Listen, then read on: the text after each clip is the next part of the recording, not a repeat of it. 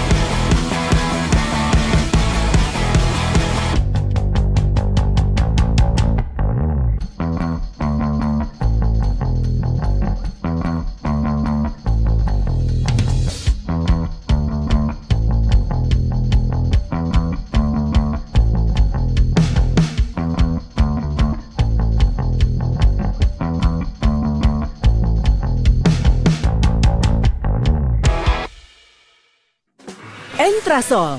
Shh, ini rahasia saya. Cuma entrasol yang ada ekstrak buah zaitunnya. Ekstrak buah zaitun entrasol bantu tangkal radikal bebas. Entrasol tinggi proteinnya bantu jaga masa ototku. Entrasol itu rendah laktosa, bikin nyaman di perut. Biar tetap aktif, saya minum Entrasol dua kali sehari. Mereka minum Entrasol. Bagaimana dengan Anda?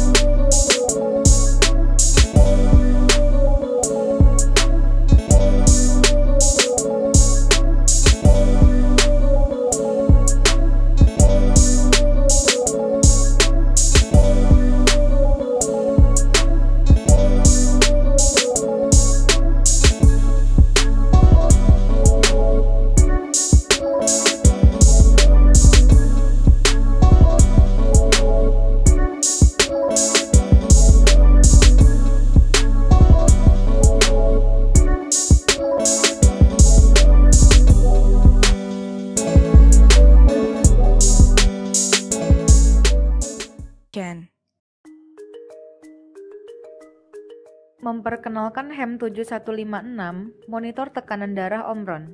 Didesain untuk penggunaan di rumah. Dengan manset IntelliWrap cocok untuk pengguna pertama kali. Untuk memulai, cukup masukkan lengan Anda ke dalam manset yang mudah dipakai dengan satu tangan. Manset ukuran lebar dirancang menyesuaikan ukuran lengan sebagian besar orang Asia untuk memastikan pengukuran yang tepat setiap saat. Ujung desain menyempit menandakan pemasangan manset sudah sesuai, menandakan pemasangan yang pas. Manset biasa memiliki zona akurasi terbatas yang harus ditempatkan tepat di atas arteri, tetapi, Manset IntelliWrap memiliki zona akurasi 360 derajat yang memastikan pembacaan akurat. Tidak masalah bagaimanapun Anda memakainya. Omron HEM 7156 akurat, nyaman, mudah digunakan. Didesain untuk penggunaan di rumah.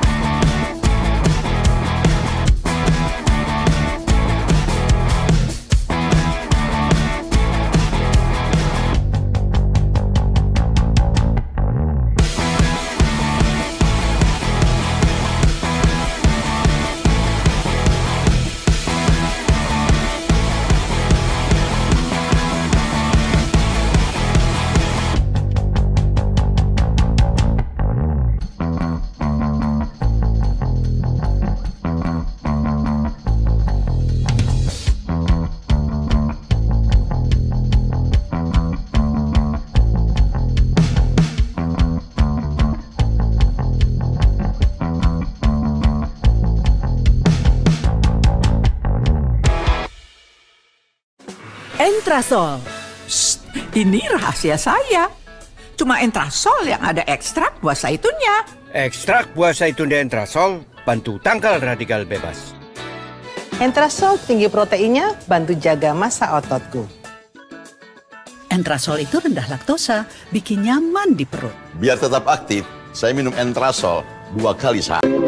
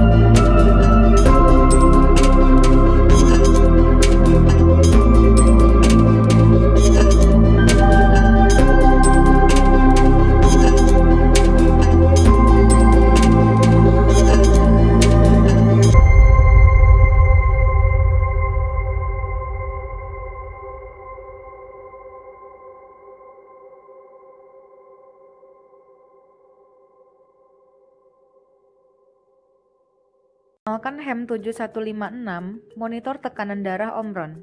Didesain untuk penggunaan di rumah. Dengan Manset IntelliWrap cocok untuk pengguna pertama kali. Untuk memulai, cukup masukkan lengan Anda ke dalam manset yang mudah dipakai dengan satu tangan. Manset ukuran lebar dirancang menyesuaikan ukuran lengan sebagian besar orang Asia untuk memastikan pengukuran yang tepat setiap saat. Ujung desain menyempit menandakan pemasangan manset sudah sesuai, menandakan pemasangan yang pas. Manset biasa memiliki zona akurasi terbatas yang harus ditempatkan tepat di atas arteri. Tetapi, manset IntelliWrap memiliki zona akurasi 360 derajat yang memastikan pembacaan akurat. Tidak masalah bagaimanapun Anda memakainya. Omron HEM 7156 akurat, nyaman, mudah digunakan. Didesain untuk penggunaan di rumah.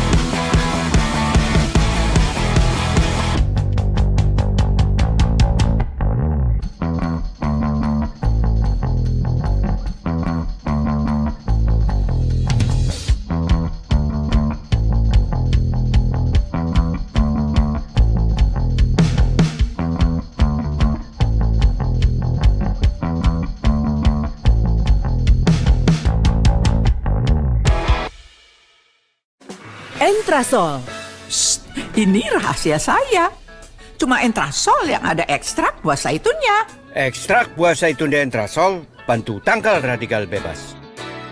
Entrasol tinggi proteinnya bantu jaga massa ototku. Entra-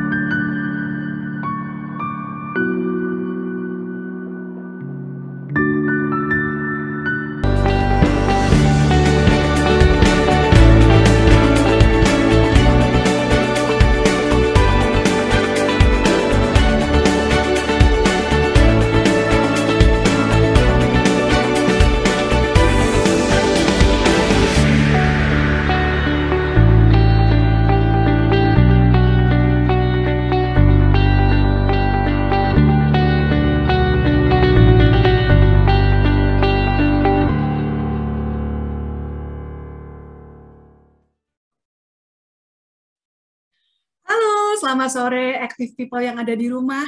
Apa kabarnya nih? Semoga dalam keadaan sehat selalu ya. Selamat bergabung di webinar kesehatan penanganan hipertensi di era pandemi.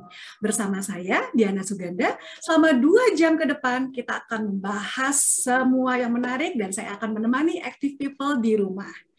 Webinar kesehatan ini dipersembahkan oleh Entrasol, Calcare, Indonesian Society of Hypertension (INASH), dan Omron Healthcare Indonesia.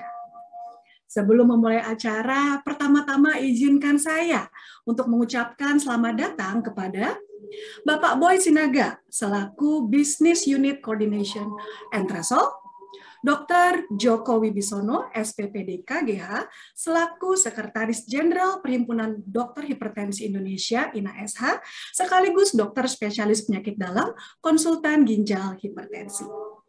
Dr. Dr. Antonia Ana Lukito, SPJP Konsultan, VIHA, selaku Wakil Ketua Perhimpunan Dokter Hipertensi Indonesia (INASH), sekaligus dokter spesialis jantung dan pembuluh darah. Dr. Raisa Edwina Juanda, MGizi SPGK, selaku dokter spesialis gizi klinik, Dr. Adeline Devita selaku Kalbe Health Communicator, Windy Yunika Puji selaku Marketing Omron Healthcare Indonesia. Active people, penyakit hipertensi tidak hanya menyerang lansia aja loh. Semua orang bisa mengalami hipertensi. Meski demikian, hingga saat ini penyebab hipertensi tidak selalu dapat diketahui dengan pasti. Ditambah lagi di saat kondisi pandemi seperti saat ini, daya tahan tubuh penderita hipertensi sudah pasti terganggu akibat tekanan darah tinggi. Di kondisi pandemi seperti saat ini, masalah hipertensi menahun, apalagi di kalangan lanjut usia, akan melemahkan sistem kekebalan tubuh, sehingga tak sanggup menghadapi infeksi virus. Karena itulah penderita hipertensi sangat rentan terinfeksi virus corona menyebab COVID-19.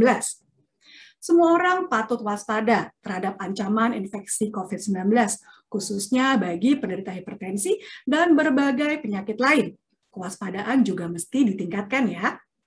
Oleh karena itu, Entrasol berkolaborasi dengan Calcare, dengan Indonesian Society of Hypertension, INASH, dan Omron Healthcare Indonesia memberikan edukasi sore hari ini bertemakan penanganan hipertensi di era pandemi. Sebelum memulai acara hari ini, tentunya sangat seru ya, saya mau menginformasikan kepada active people semua bahwa Entrasol Platinum merupakan nutrisi tinggi protein dengan ekstrak buah zaitun. Ekstrak buah zaitun dapat membantu memperlambat proses penuaan dini, membantu menjaga kesehatan jantung, meningkatkan antioksidan alami tubuh, serta membantu menjaga kelancaran peredaran darah. Mengkonsumsi entrasol platinum 2 gelas sehari setara dengan mengkonsumsi 15 sendok minyak makan zaitun murni. Entrasol platinum juga dilengkapi dengan Profit Advanced Formula, tinggi serat, omega 3 dan 6, 11 vitamin, 8 mineral, lebih rendah gula, serta rendah laktosa, sehingga nyaman di perut. Entersol Platinum bantu penuhi nutrisi harian agar tetap aktif dan fit, menjaga daya tahan tubuh, serta mempercepat masa pemulihan. Untuk itu, yuk selalu penuhi nutrisi harian dengan Entrasol Platinum. Nah, buat active people di rumah, ada spesial promo nih dari Entrasol Platinum. Pasti ya, semuanya senang ya dengan namanya promo. Nah, seperti apa promonya? Setiap pembelian Entrasol Platinum 1 kali 400 gram gratis pouch special edition dari Ana Avanti. Wow. Ya, kemudian pembelian Entrasol Platinum 1 kali 800 gram gratis tote bag special edition dari Anne Avanti. Wow, pasti keren ya hadiahnya. Nah, active people dapat membeli Entrasol Platinum Special Edition ini di Shopee, Calcare Official Shop, atau Entrasol Official Shop. Jangan lewatkan promonya ya. Nah, sebelum kita mendapatkan pemaparan dari para expert ya, active people semua pasti sudah tidak sabar, saya mau memberikan informasi penting nih, active people. Jadi, Calcare sendiri merupakan outlet experience dari Kalbe Nutritional nih. Di Calcare, active people bisa melakukan berbagai macam cek kesehatan, bisa konsultasi gizi dengan ahli gizi atau nutritionist dari Calcare. Calcare Outlet ada di tujuh mall besar, Pondok Indah Mall 2, Lotte Shopping Avenue, Bintaro Jaya Exchange, Lipo Mall Puri, Grand Metropolitan Bekasi, Pesona Square Depok, dan Ion Mall Sentul. Selain itu, di Kalker sedang ada program gerakan hashtag Kalker Tanggap Corona. Nah, silakan dapatkan informasi gaya hidup sehat dalam upaya pencegahan terhadap virus corona, serta referensi suplemen dan vitamin untuk mendukung daya tahan tubuh kuat. Selain itu, active people dapat konsultasi secara langsung dengan ahli gizi kalker yang siap membantu ibu-ibu semua yang keluarganya sedang isoman di rumah. WhatsApp-nya ya, boleh dicatat untuk nomor WhatsApp-nya 0812 8823 4589. Oke, saya ulang sekali lagi ya. Silakan WhatsApp yang mau tanya-tanya ya di nomor 0812 8823 4589. Oke, semoga udah dicatat ya nomornya. Langsung aja di save di HP supaya gampang setiap kali mau nanya bisa. Oke, sebelum memulai rangkaian acara hari ini, mari kita undang Bapak Boy Sinaga selaku Business Unit Coordinator dari Entrasol untuk dapat memberikan kata sambutan kepada active people semua. Untuk itu, waktu dan kesempatan saya persilakan.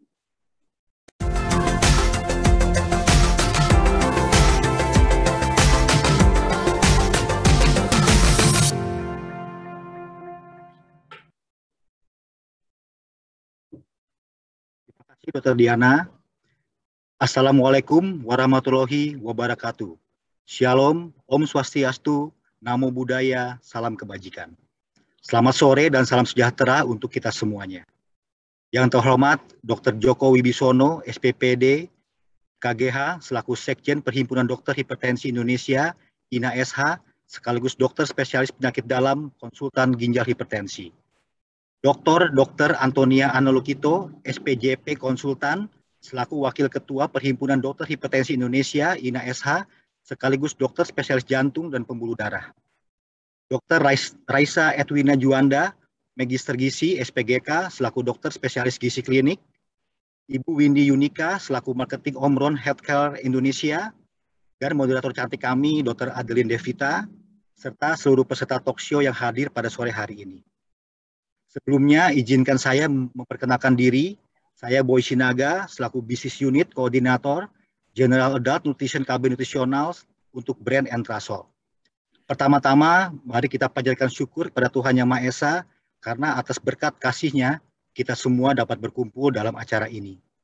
Saya mengucapkan banyak terima kasih atas kehadiran Bapak dan Ibu dalam acara penanganan hipertensi di era pandemi, kolaborasi Entrasol dengan Perhimpunan Dokter Hipertensi Indonesia dan Omron Indonesia.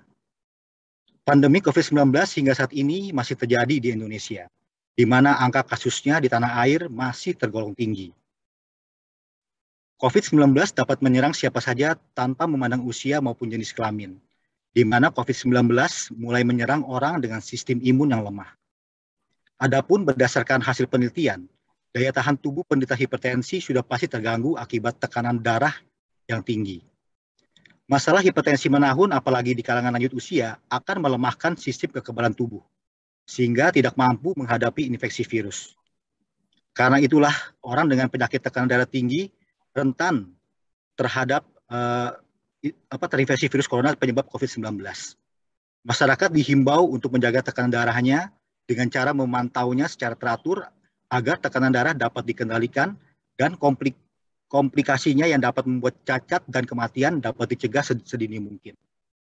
Hal ini penting untuk dilakukan terlebih lagi di tengah kondisi pandemi COVID-19 seperti sekarang. Mengingat tekanan darah tinggi atau hipertensi merupakan salah satu penyakit penyerta atau komorbiditas yang berbahaya bagi pasien terinfeksi virus COVID-19, maka kita melihat pentingnya edukasi mengenai COVID-19 dan hipertensi.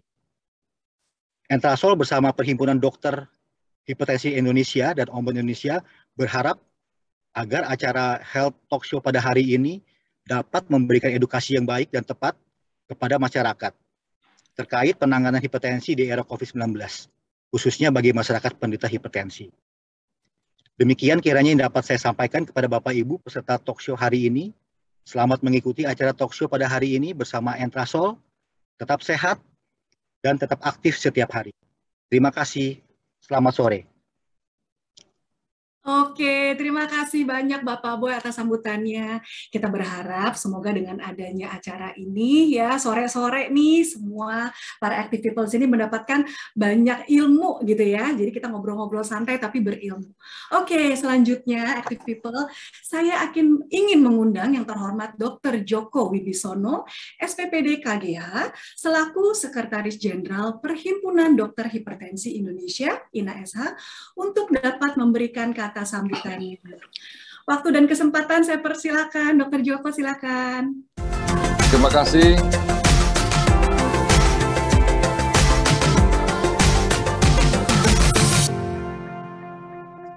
Terima kasih, eh, Dr. Diana. Assalamualaikum warahmatullahi wabarakatuh. Selamat sore, salam sehat untuk kita semua. izinkanlah pada kesempatan yang berbahagia ini saya mewakili PERHI, Perhimpunan Hipertensi Indonesia, yang merupakan perhimpunan keseminatan di bidang hipertensi yang tentunya berpartner dengan Ikatan Dokter Indonesia, berpartner dengan Perhimpunan Nefrologi Indonesia, dengan PERKI, Perhimpunan eh, Perhimpunan Dokter Spesialis Kardiovaskular Indonesia, dan Perdosi, Perhimpunan Dokter Spesialis Saraf Indonesia, yang saat ini salah satu uh, dari misi PERHI adalah meningkatkan pengetahuan dan kesadaran masyarakat tentang hipertensi, terutama dalam era-era pandemi ini. Maka dari itu, pada siang hari ini kita bekerja sama tentunya dengan eh, PT Omron dan PT Kalbe dalam Intrasol sehingga kita dapat menyelenggarakan uh, webinar awam tentang penanganan hipertensi di era pandemi ini. Sebab kita tahu bahwa eh, COVID-19 ini tentunya tidak mengenal siapa saja, baik itu hipertensi atau tidak hipertensi. Si COVID tidak bisa membedakan. Tetapi bila pasien-pasien dengan komorbid hipertensi yang terkena virus corona, ya ini tentunya mortalitasnya tinggi. Karena menurut survei bahwa dari pasien-pasien yang terkena COVID itu ada 50 setengah persen itu dengan komorbid hipertensi, dengan akibat mortalitas yang sangat tinggi. Ya, dari yang penderita hipertensi itu mortalitasnya mencapai 13,2 persen. Maka dari itu, pada kesempatan yang baik ini, ya, eh, Perhi bekerja sama dengan PT Omron dan PT Kalbe akan menjalankan per uh, webinar ini. Pada kesempatan ini kami juga atas nama perhimpunan mengucapkan terima kasih kepada para pembicara yaitu Dr. Antonia dari INASH, saya sendiri dari INASH, kemudian ada Dr. Raisa Edwina Juanda, spesialis gizi klinik, ada Dr. Adele Devita dari Kalbi Health Communicator, serta Ibu Windy Yunika Puji dari Marketing Omron Healthcare Indonesia, dan juga tak Tak kalah pentingnya ada Dr. Diana Sugandi, spesialis gizi klinik sebagai host. Demikian eh, kami atas nama Pergi sekali lagi mengucapkan terima kasih. Semoga webinar pada sore ini bermanfaat bagi kita semua dan terima kasih kepada para partisipan di mana pun sehingga boleh mengikuti acara ini sampai selesai. Terima kasih. Kami tutup dengan wassalamualaikum warahmatullahi wabarakatuh. Selamat sore. Ya, terima kasih Dokter Joko atas sambutannya pada sore hari ini. Pokoknya sama ya, kita semua berharap supaya acara webinar sore hari ini bermanfaat bagi active people semua. Active People, pada hari ini kita akan mendapatkan ilmu yang sangat luar biasa mengenai hipertensi dari pakar-pakarnya langsung. Ya, jadi uh, silakan disimak dengan baik ya. Kalau mau ada pertanyaan boleh nanti ditanyakan. Ya, tanpa berlama-lama, mari kita bersama-sama menuju sesi pemaparan pertama mengenai penanganan hipertensi dan pengaruh dari sisi kardiovaskular.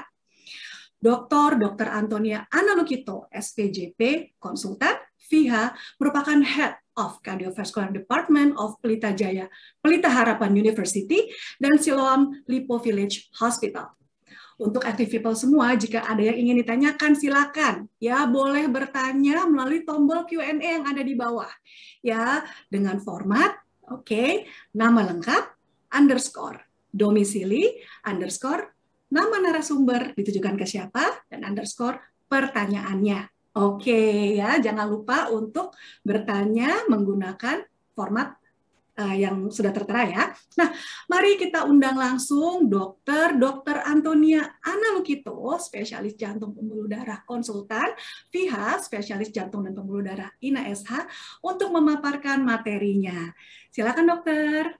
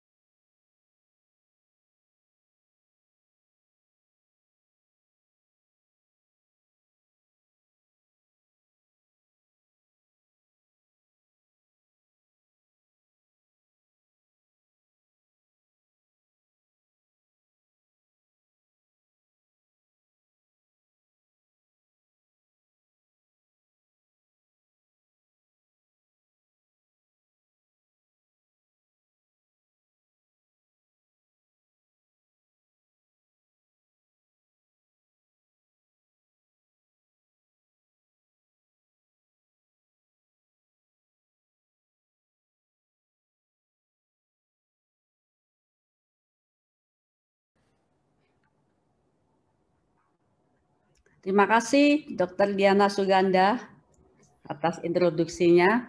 Hari ini saya mendapatkan topik uh, tentang hubungan hipertensi dengan uh, di masa pandemi ya uh, dan hubungannya dengan um, infeksi COVID-19. Uh, mungkin untuk mulai mohon share slide-nya.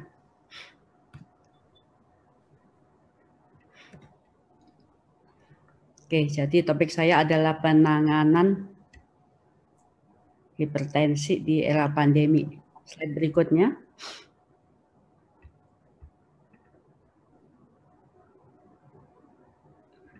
Jadi eh, ini adalah data-data yang hard number ya. Hard number itu data keras ya. Kita bisa melihat dari sini data bahwa eh, kita memperbandingkan jumlah besarnya populasi hipertensi dengan penyakit-penyakit lain.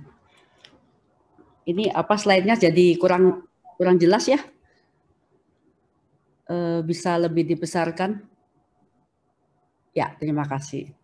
Jadi e, dikatakan bahwa eh, satu juta orang akan mengalami e, serangan jantung pada waktu masa pandemi ini ya, yang e, makin eskalasi kejadian-kejadian uh, cardiovascular disease yang meliputi serangan jantung, stroke dan uh, insiden pembuluh darah lainnya. Dikatakan uh, terdapat 16,5 juta dengan penyakit jantung koroner dan 795 ribu mengalami stroke, 356 ribu mengalami kejadian meninggal mendadak dan dikatakan 23 juta uh, didapatkan uh, diabetes mellitus, 15 persen merokok, 56 persen eh, membutuhkan obat penurun kolesterol, 38 persen mengalami obesitas. Dari angka ini kita langsung ke lihat ke angka uh, hipertensi, peningkatan tekanan darah tinggi. Ternyata jumlahnya paling tinggi ya, 103 juta dibandingkan yang lainnya paling tinggi ya. Dan juga penderita darah tinggi yang telah mengalami gagal jantung itu sebanyak 6,5 juta seperti kita ketahui gagal jantung adalah penyakit dengan kondisi yang lebih serius ya.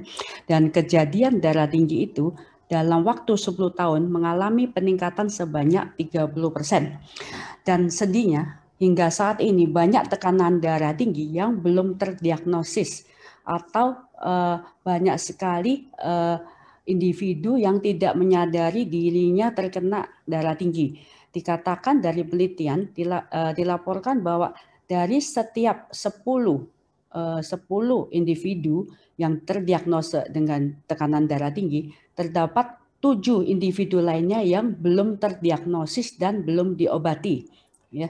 Mungkin kita sudah harus merubah paradigma kita ya. Kalau kita masa mudanya kita merasa tekanan darah kita rendah kita bukan seumur hidup akan rendah terus tekanan darah tinggi uh, akan meningkat seiring usia ya. Jadi rajinlah tensi ya untuk mengetahui uh, peningkatan itu dengan dini. Jangan terlena dengan angka rendah dan menganggap kita mudah selalu ya. Umur bertambah, jangan lupa. Next slide. Nah, jadi uh, kita lihat sekarang hipertensi, kejadian hipertensi berdasarkan usia. Dikatakan usia 18 tahun ke atas itu hampir sepertiganya itu darah tinggi. Jadi di antara tiga orang yang duduk misalnya di, di tempat mana saja yang duduk, itu satu di antaranya mempunyai darah tinggi. Kalau tiga orang itu eh, semua dewasa 18 tahun ke atas. Kalau kita breakdown satu, satu persatu, usia 18 sampai 39 tahun itu 7,3 persen hipertensi masih ringan ya. Sebegitu usia menanjak 40 sampai 59 tahun itu 32,7 persennya hipertensi. Artinya satu di antara tiga orang ya. Dan kalau kita sudah berusia 60 tahun ke atas, itu 65,6-nya darah tinggi. 2 per 3 ya. Jadi, jadi angka ini kita bisa lihat ya, kalau kita umur 25-an kita merasa darah tinggi, belum tentu pada dekade berikutnya ya. Jadi waspadalah ya, hipertensi itu uh, sangat prevalen ya, sangat uh, banyak terjadi. Uh, slide berikutnya. Kenapa kita perlu fokus pada tekanan darah tinggi? Jadi laporan dari seluruh dunia menekankan bahwa tekanan darah tinggi merupakan faktor risiko global kedua setelah diet yang salah, cara makan yang salah ya. Dan dikatakan tekanan darah tinggi merupakan faktor risiko ketiga terbesar setelah merokok dan salah diet. Bagaimanapun tekanan darah tinggi merupakan uh, faktor risiko tunggal terbesar. Kita lihat dari jumlahnya tadi ya, semua masih dua digit ya, dua digit juta ya. Tapi kalau uh, darah tinggi sudah tiga digit juta ya. Jadi merupakan faktor risiko yang terbesar. Ya. Dan hipertensi atau peningkatan tekanan darah meningkatkan risiko untuk gagal jantung, meningkatkan risiko untuk penyakit jantung koroner, dan meningkatkan risiko untuk stroke. Ya, jadi tujuan kita pengobatan bukan hanya mengukur angka yang naik turun naik turun, tetapi kita mempunyai tujuan yang lebih jauh, lebih lebih mendalam, yaitu jangan sampai pasien yang terkena darah tinggi menjadi gagal jantungnya, menjadi penyakit jantung koroner, menjadi stroke. Ya, itu adalah tujuan utama kita penanganan darah tinggi ya. Jadi tidak sekedar hanya angka. Silakan slide. Jadi ini bukti-bukti dari tekanan darah tinggi. Ini berdasarkan penelitian bukti yang sangat kuat dari berjuta-juta penelitian. Ditemukan bahwa penurunan tekanan darah sebanyak 10 mm air raksa, misalnya dari 160 per 100 menjadi atasnya ya 160 per 90 misalnya atau 150 per 100, maka akan terjadi penurunan penyakit jantung koroner sebanyak 17 persen, penurunan stroke sebanyak 27 persen, penurunan gagal jantung sebanyak 28 persen, dan penurunan kematian sebanyak 13 persen. Ya, jadi ini angka ini uh, tolong diingat bahwa kita perlu menurunkan tekanan darah hingga target sehingga mendapatkan penurunan yang lebih besar. Slide. Ini lantas hubungan apa hubungan antara hipertensi dengan uh, infeksi SARS-CoV-2 atau kita sebut dengan corona ya. Jadi darah tinggi itu merupakan kondisi yang melibatkan berbagai macam kejadian yang tidak baik atau metabolisme dan hormon yang tidak baik, tidak seimbang pada tubuh kita. Jadi kalau kita sering mendengar badai sitokin, sebenarnya orang yang mempunyai hipertensi itu mempunyai sitokin kecil-kecilan ya badai kecil badai kecil banyak ya keseimbangan eh, ketidakseimbangan hormon, inflamasi, uh, rusaknya uh, dinding pembuluh darah, pengerasan pembuluh darah, penebalan jantung, tidak seimbangnya hormon yang mengatur gula darah ya dan sebagainya. Jadi seseorang yang mengalami hipertensi yang sudah mempunyai status inflamasi atau peradangan atau sitokin sekarang istilahnya apalagi terkena COVID-19 lebih badainya akan lebih besar dan hasilnya lebih jelek. Dikatakan uh, pen, pasien dengan yang terkena COVID atau corona pada uh, tahap yang serius, yang berat, yang memerlukan ICU itu 50 sampai 60 persen di antaranya itu adalah pasien darah tinggi. Ya, jadi pasien darah tinggi lebih mudah mengalami kondisi yang berat bila terkena corona. Slide berikutnya. Jadi uh, tadi ada pertanyaan obat-obat. Belum bahkan acara belum mulai sudah bertanya obat ya. Ini penting sekali pertanyaannya. Jadi obat hipertensi itu sendiri dapat membantu menurunkan badai sitokin pada COVID-19. Kita tahu pada masa pandemi ini banyak orang hipertensi yang terbengkalai obat-obatnya. Resepnya habis, tidak bisa menebus obat tidak uh, tidak berani keluar untuk membeli obat dan sebagainya, tidak berani konsultasi dokter dan menghentikan karena alasan tersebut. Ya, padahal itu adalah tindakan yang sangat salah. Sekarang banyak akses. Selama pandemi tidak berani ke praktek, tidak berani cek darah, sudah dapat diatasi dengan digital, dengan telekonsul, dengan uh, uh, dengan telekonsultasi, dengan lab home visit, banyak sekali ya cara asal uh, di mana ada kemauan, di mana ada cara. Ini saya akan share sedikit penelitian saya dan kawan-kawan mengenai efek kandisartan. Di sini saya bukan menonjolkan F, uh, tentang obat kandesartan. Kandesartan adalah golongan obat yang kita sebut dengan ARB, golongan ARB. Ya, ini ternyata uh, pemberian ARB atau meneruskan ARB yang sudah diminum, ARB itu sartan-sartan ya, semua yang belakangnya sartan itu ARB. Itu ternyata berefek man, uh, memberikan manfaat untuk mengurangi uh, beratnya penyakit atau eh, badai sitokin pada pasien dengan hipertensi. Jadi menghentikan obat itu adalah salah besar ya. Jadi harus tetap minum obat kecuali bila nanti pada slide berikutnya saya jelaskan slide berikutnya. Nah, ini adalah cara menjaga hipertensi masa pandemi bagi pasien yang isolasi mandiri ya. Itu uh, dianjurkan untuk mengecek tensi seperti pada tayangan video tadi ya. Mengecek tensi secara teratur dan mengingat target yang diberikan oleh dokternya dan obat-obatnya. Minum terus. Tidak boleh di stop, tidak boleh dikurangi ya. Kalau ada masalah mendadak tinggi, mendadak rendah bisa teleconsultation ya dengan dokternya kalau tidak berani ke rumah sakit ya. Terus kemudian bagaimana pasien COVID hipertensi yang sedang dirawat?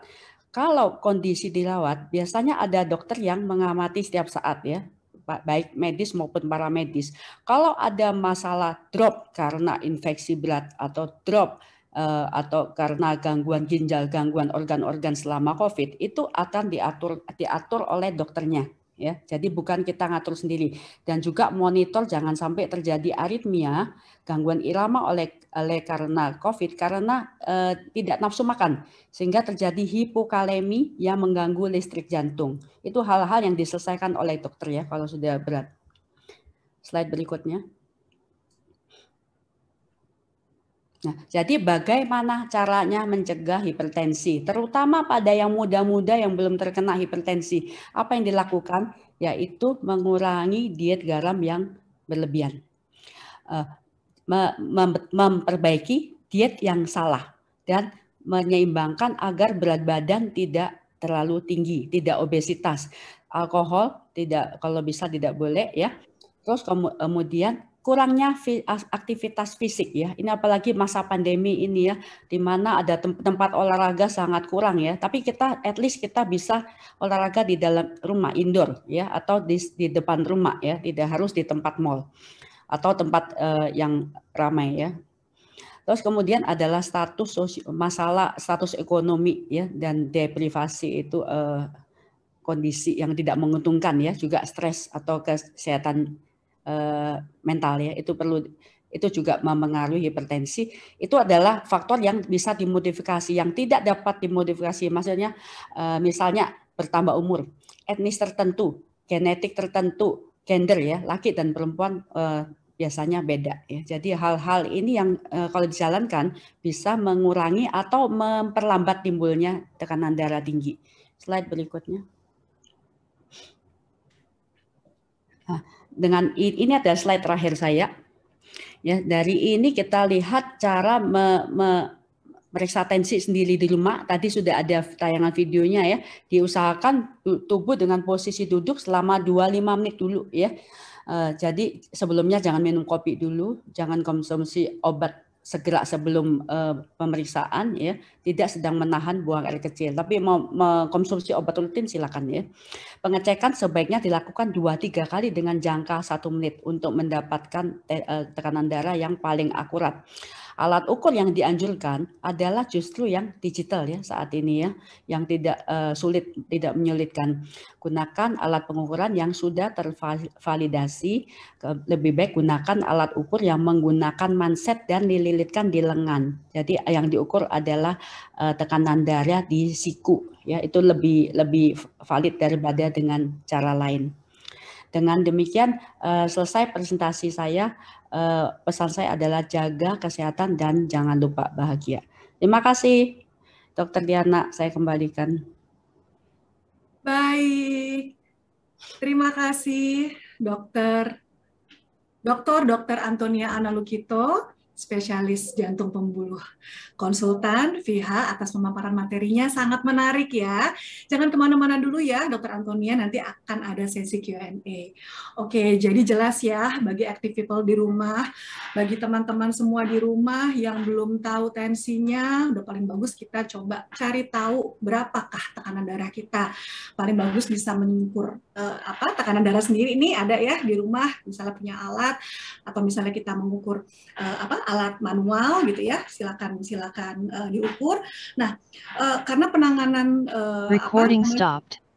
karena penanganan hipertensi ini ternyata sepenting itu ya jika kita mempunyai uh, tekanan darah tinggi. Kita nggak tahu karena biasanya recording uh, in progress.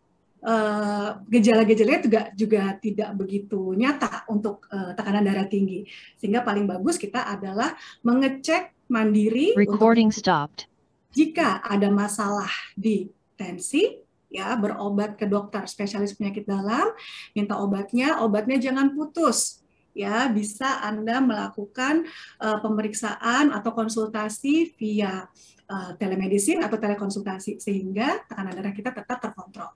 Nah, dengan menjaga tekanan darah, ternyata risiko kita untuk menderita uh, COVID ataupun jika terkena juga tidak terlalu parah. Oke, sangat menarik sekali sesi pertama kita. Oke, masih uh, pada segar ya, masih pada semangat. Selanjutnya kita akan menuju ke sesi kedua. Ya, ini juga tidak kalah menariknya people semua dengan pemaparan materi penanganan hipertensi dan pengaruh dari sisi ginjal bersama Dr. Joko Wibisono, SPPD KGH. Dr. Joko Wibisono, SPPD KGH, merupakan konsulen Departemen Penyakit Dalam RSPAD Gatot Subroto, klinisi IA2C, dan anggota tim dokter kepresidenan RI tahun 2009 hingga 2024. Kembali lagi kepada active people semua, jika ada yang ingin ditanyakan, silakan. Ya, boleh bertanya melalui tombol Q&A yang ada di bawah ini ya. Nah, dengan format nama lengkap underscore domisili underscore nama narasumber dan underscore pertanyaannya. Silakan ditanyakan kepada siapa narasumber yang Anda ingin tanyakan pertanyaan tersebut. Oke, tanpa berlama-lama, mari kita undang kembali Dr. Joko Wisono, SPP DKGH, dokter spesialis penyakit dalam, konsultan ginjal hipertensi INA SH, untuk memaparkan materinya. Silakan Dr. Joko. Terima kasih Dr. Diana.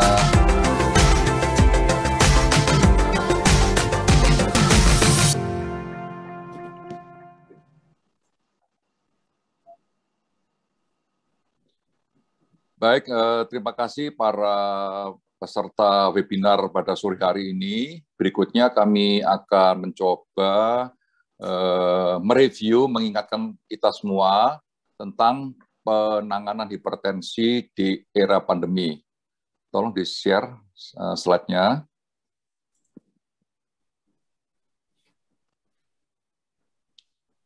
Ya, eh, judul yang diberikan kepada saya adalah bagaimana tentang tata laksana ya. Jadi bukan hanya pengobatan tetapi eh, tata laksana hipertensi dan ginjal pada masa pandemi. Slide. Ya. Eh, bagaimana sih cara pengobatan atau tata laksana hipertensi pada masa pandemi ini ya yang tadi sudah sebagian besar disinggung-singgung oleh Dr. Antonia ya. Slide.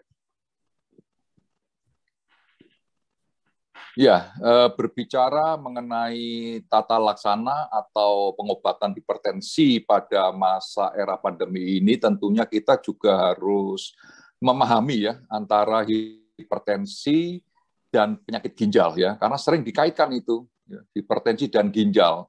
Karena keduanya ini merupakan penyakit yang saling berhubungan ya. Hipertensi bisa menjadi salah satu penyebab penyakit ginjal ya. Namun dapat juga disebabkan oleh penyakit ginjal ya. Ibaratnya seperti telur dengan ayam. Mana yang lebih dahulu ya bisa saling mempengaruhi ya jadi hipertensi bisa menyebabkan sakit ginjal ya. Jadi tadi karena kita mengenal juga istilah HAMOD ya, hypertension mediated organ damage yaitu adalah kerusakan organ yang diakibatkan oleh hipertensi ya. Nah, bisa ginjalnya bisa terkena tadi dari bidang kardiovaskuler sudah dibahas oleh Dr. Antonia, bisa stroke, bisa sakit jantung ya. Dalam hal ini hipertensi juga bisa menyebabkan sakit ginjal atau menjadi penyakit ginjal kronik. Dan tadinya kalau tidak ada hipertensi karena sakit ginjal, karena peradangan ginjal sejak kecil misalnya, ya, eh, kemudian glomerulonefritis atau penyakit apa saja, ginjal sakit, bisa juga menyebabkan hipertensi ya. Kemudian yang yang paling penting tadi adalah kontrol ya atau pengendalian tekanan darah ini merupakan salah salah satu cara dalam menjaga kesehatan ginjal ya. Jadi eh, menjaga hipertensi, tentunya juga itu adalah menjaga kesehatan ginjal itu sendiri ya. Tadi sudah disinggung-singgung, jadi banyak orang selama masa pandemi ini ya semua kacau balau ya, semua semua strata kehidupan ya, tidak terluput juga dari bidang kesehatan ya, karena tadi pasien takut ke rumah sakit ya, eh, tidak sempat kontrol dengan dokternya, sehingga banyak terputus obat-obatan yang rutin diminum. Tapi ini tidak boleh menjadi kendala ya. Kita harus new normal. Kita hidup berdampingan dengan virus corona.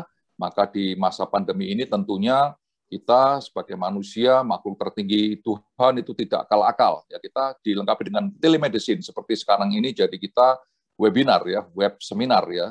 Telemedicine atau dikenal dengan telehealth adalah merupakan suatu teknologi ya untuk menggantikan kunjungan tatap muka ya. Nah, seperti tadi disebutkan bahwa laborat bisa dipanggil datang ke rumah ya dengan dokter bisa telekonsultasi ya bisa tatap muka sehingga tidak ada alasan ya bahwa pandemi ini uh, menjadi kendala sehingga kita terputus ya uh, memperhatikan kesehatan kita terutama di bidang hipertensi itu sendiri ya. Slide Ya, ini adalah kiat-kiat kita ya, bagaimana kita tetap bisa sehat dengan hipertensi di era pandemi ini. Tentunya ini misalnya tentunya kita harus apa mengikuti saran-saran yang diberikan oleh tenaga kesehatan baik dokter maupun para medis ya dan budayakan gaya hidup sehat. Ini penting ya. Lifestyle itu penting ya. Nah, kemudian jangan lupa ya obat itu harus dikonsumsi secara rutin ya karena eh, banyak orang takut mengkonsumsi obat hipertensi ya. Karena lo kok ini obatnya diminum terus menerus apakah nanti tidak malah sakit ginjal? Nah terbalik ini ya. Jadi justru yang merusak ginjalnya itu bukan karena konsumsi obatnya ya. Dalam hal ini obat hipertensi itu memang harus diminum eh, dalam jangka lama katakanlah itu harus rutin dan long life seumur hidup ya. Supaya tetap tekanan darah kita terkontrol ya. Kemudian tadi sudah dijelaskan di depan ya bagaimana melakukan pemeriksaan tekanan darah secara rutin ya. Sehingga dianjurkan setiap individu zaman sekarang ya zaman now ini mempunyai alat hipertensi sendiri yang tadi sudah didemonstrasikan di slide-slide apa di eh, tadi sebelumnya itu didemonstrasikan bagaimana kita cara mengukur tekanan darah sendiri dengan alat yang semi otomatis ya yang apa eh, yang digital ya. Kemudian tentunya ya kita sedapat mungkin bisa menghindari dan mengendalikan stres ya. Kadang-kadang stres itu memang penting ya untuk kita waspada, tetapi kalau stres yang berlebihan itu tentunya tidak dikendaki. Jadi hindari dan kendalikan stres. Kemudian tidak kalah pentingnya diet ya. Ini DAS diet, dietary approach to stop hypertension tentunya nanti akan dibicarakan lebih dalam oleh teman-teman pembicara berikutnya yang dari spesialis gizi klinik ya. Secara umum kita tentunya kaitannya hipertensi ini dengan garam ya. Garam itu natrium ya. Ini kurangi kalau garam dapur itu NaCl, sebaiknya bukan tidak boleh ya. Jangan banyak eh, pasien-pasien yang salah kaprah sama sekali tidak makan garam. Akibat juga kurang baik kalau tidak sama sekali tidak makan garam, natrium rendah juga itu menjadi Eh, kendala tersendiri ya. Tentunya kita tetap boleh garam tetapi ya tidak lebih dari 5 gram. 5 gram ini kalau ukuran rumah tangganya adalah satu sendok teh peres ya, tidak lebih dari itu ya. Kemudian tentunya kita dianjurkan uh, makan konsumsi yang cukup tentang sayuran dan buah-buahan. Ini penting ya karena sayuran dan buah-buahan itu tentunya banyak mengandung kalium ya dan ini juga bisa membantu untuk menurunkan tekanan darah. Kemudian hindari konsumsi lemak yang berlebihan ya karena lemak berlebihan tadi nah, ini salah satu penting ya. Tadi sudah disebutkan bahwa kalau usia muda itu ya tidak hipertensi, tetapi prevalensinya dekade-dekade berikutnya bahkan ekstrimnya kalau di atas usia 60 itu 60 persen lebih itu menjadi hipertensi. Karena salah satunya mungkin berhubungan dengan lemak ini ya. Banyak makan lemak oksidatif menempel di pembuluh darah pembuluh darah yang makin kaku dan sempit sehingga ini berkontribusi menjadi hipertensi di usia tua. Yang tidak kalah penting adalah hindari rokok ya karena rokok ini sangat dahsyat ya dia bisa mempengaruhi seluruh pembuluh darah kita ya.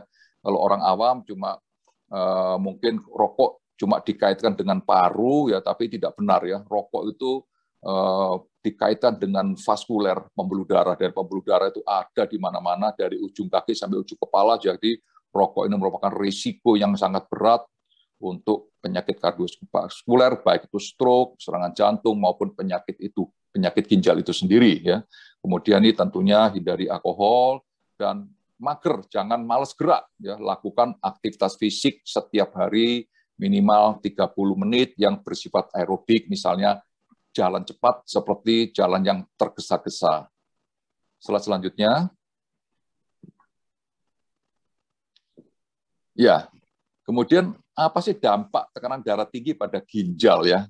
Kita lihat ya, satu dari lima pasien hipertensi mengalami penyakit ginjal kronik ya, penyakit ginjal kronik. Jadi ini cukup cukup cukup tinggi juga ya, satu dari lima pasien ini kalau hipertensi tidak dikendalikan dengan baik, ya akibatnya nanti kelak 5, 10, 20 tahun lagi mengalami penyakit ginjal kronik, ya ujung-ujungnya bisa mengalami hemodialisis atau uh, cuci darah itu. ya. Kenapa ya? Ini dapat disebabkan, diterangkan karena tekanan darah tinggi ini dapat menyebabkan cedera, ya, jadi merusak dinding-dinding pembuluh darah, seperti saya katakan tadi ya.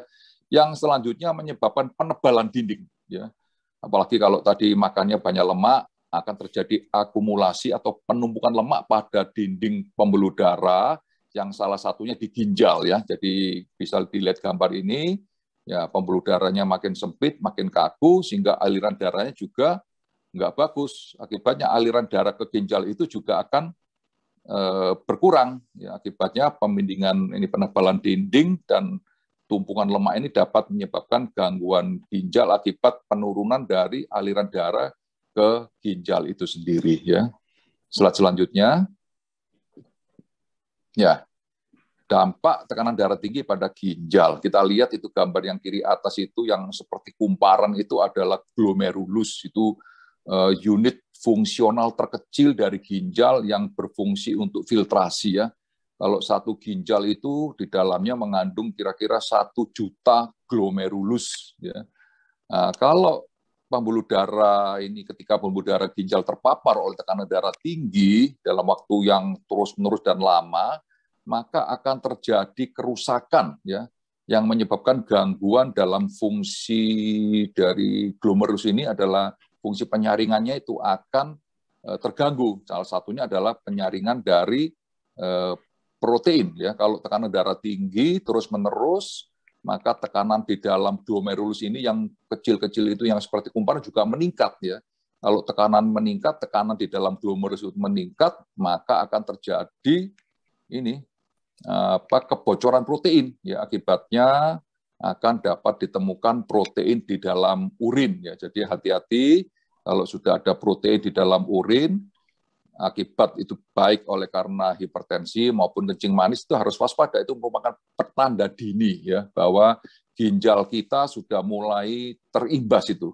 Sudah terlibat artinya sudah ada penyakit ginjal kronik walaupun katakanlah kreatinin kita ya kalau kita periksa fungsi ginjal di laboratorium itu namanya kreatinin kreatinnya masih normal tetapi kalau sudah ada protein walaupun jumlahnya kecil yang disebut mikroalbumin urea di dalam urin, kita harus waspada. Itu adalah petanda dini bahwa ginjal kita sudah terlibat. Kita harus lebih aktif, lebih agresif kita mengobati hipertensinya dengan mencegah kebocoran protein lebih lanjut, itu artinya kita menyelamatkan ginjal, artinya kita mencegah penyakit ginjal kronik yang nanti ke depannya kalau tidak kebetulan kita bisa melakukan dilakukan cuci darah ya. Jadi jika kerusakan ginjal semakin berat, ini tentunya penyakit ginjal kronik yang berat itu ya gejalanya apa?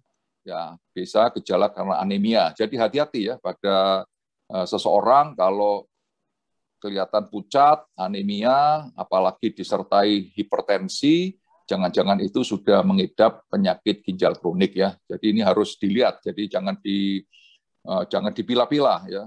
Tentunya ini harus berobat ya karena anemia cuma dikasih obat vitamin anemia saja, hipertensi diobati tekanan darah saja ternyata lupa bahwa ini merupakan suatu kumpulan penyakit ya, anemia, hipertensi ya. Ini penyakit, kumpulan penyakit yang bisa diakibat karena penyakit ginjal kronik ya. Dan kalau fungsi ginjal semakin menurun, ya tentunya nanti pada stadium lanjut, stadium yang kelima, ini merupakan memerlukan terapi pengganti ginjal, misalnya seperti dialisis atau orang awam mengatakan itu cuci darah, ya, atau bahkan dibutuhkan uh, transplantasi atau cangkok ginjal yang tentunya itu sangat sulit dilakukan mengingat biaya dan juga donor yang sangat terbatas. Ya, slide selanjutnya. Ya, bagaimana cara mencegah kesehatan ginjal di era pandemi ya. Slide selanjutnya. Ya, ini tentu tadi ya, eh, jaga kesehatan ginjal Anda dengan cara tadi tentunya kendalikan tekanan darah. Ya, tekanan darah ini harus dikendalikan eh, seoptimal mungkin ya antara tekanan darah sistolik yang di atas itu 120 sampai 129 yang di atas yang di bawah 70 sampai 79 ini harus tercapai ya. Jadi apa pun obatnya yang diminum ini harus tercapai. Jadi ada target pencapaian tekanan darah. Kemudian juga tidak kalah pentingnya kendalikan gula darah kita ya.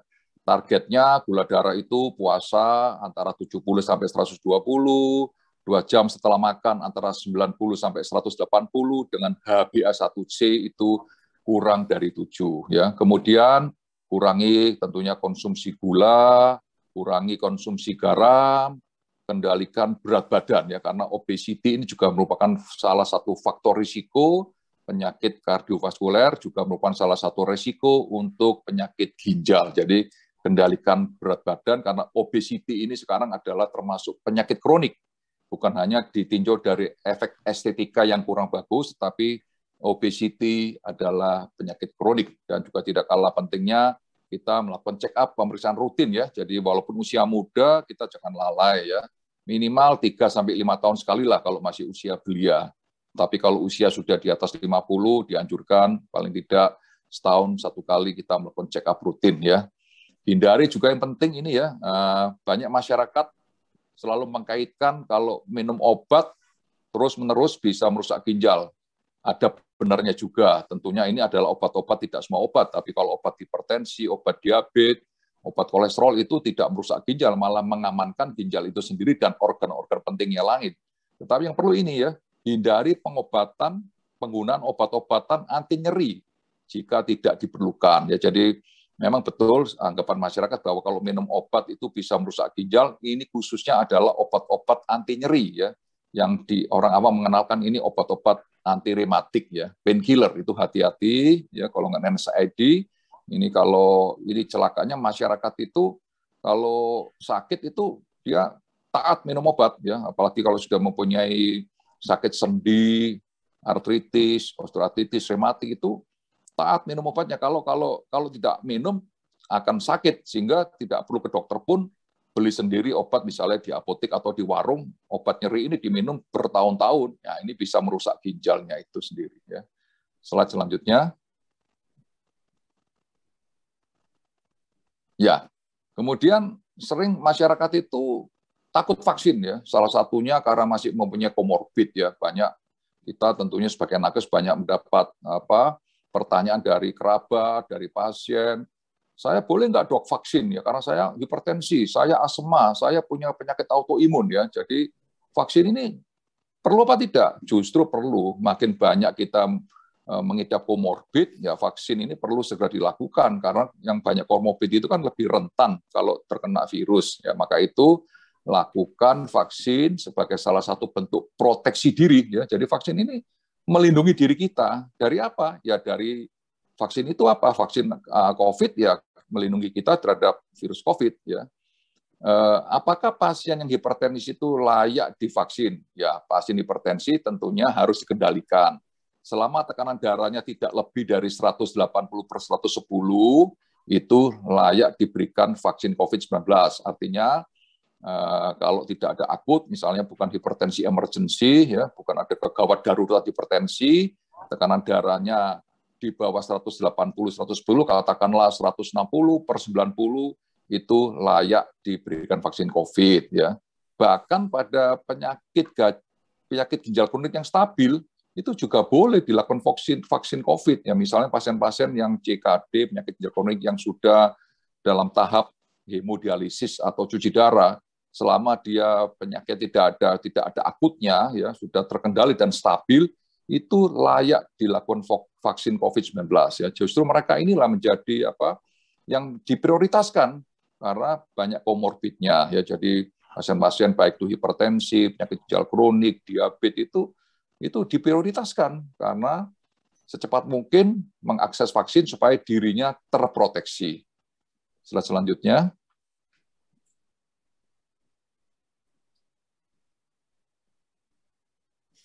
Ya, ya. Demikian Bapak Ibu eh, peserta web seminar pada sore hari ini. Itu sedikit slide saya yang singkat, mudah-mudahan dipahami dan dimengerti. Nanti kalau memang masih ada pertanyaan, silakan. Nanti ada sesi tanya jawab lebih lanjut, kita bisa manfaatkan. Terima kasih. Selamat sore. Oke, terima kasih sekali Dr. Joko Wibisono SPP DKGH atas pemaparan materi yang sangat menarik. Saya sendiri terus terang banyak belajar dari para uh, apa namanya narasumber hari ini. Jangan ke mana-mana dulu ya, Dr. Joko ya. Sebelum kita nanti akan ada sesi Q&A ya. Nah, saya uh, rangkum sedikit untuk uh, pemaparan Dr. Joko barusan. Ya, jadi ternyata penyakit hipertensi dengan ginjal ini saling berhubungan. Ya, dari hipertensi sendiri bisa menyebabkan penyakit ginjal dan juga penyakit ginjal ternyata bisa menyebabkan hipertensi, jadi vice versa. Nah, kontrol tekanan darah itu ternyata sangat penting dan nggak ada alasan untuk semua active people di rumah untuk mengontrol tekanan darahnya. Ya, nah kiat-kiat tetap sehat untuk uh, penderita hipertensi ya obat Intinya obat tidak boleh putus.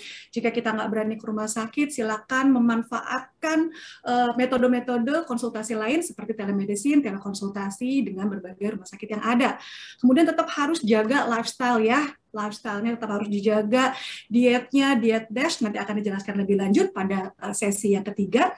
Nah, kemudian ternyata um, yang penting sekali nih yang saya note adalah pada pasien-pasien hipertensi yang uh, vaksin gitu ya mau vaksin ternyata boleh banget ya layak banget untuk vaksin jika tekanan darah Anda masih di bawah 180 per 110 ya masih boleh untuk vaksin. Jadi jangan takut, active people semua yang mungkin orang tuanya ada hipertensi silakan ajak untuk vaksin. Ya. Nah, penting sekali kita juga jaga untuk kontrol tekanan darah. Selain itu kontrol gula darah, berat badan dijaga supaya menuju ke berat badan ideal ya. Hindarkan obesitas karena obesitas sendiri merupakan penyakit kronik yang bisa menyebabkan atau lead to banyak sekali penyakit yang lain.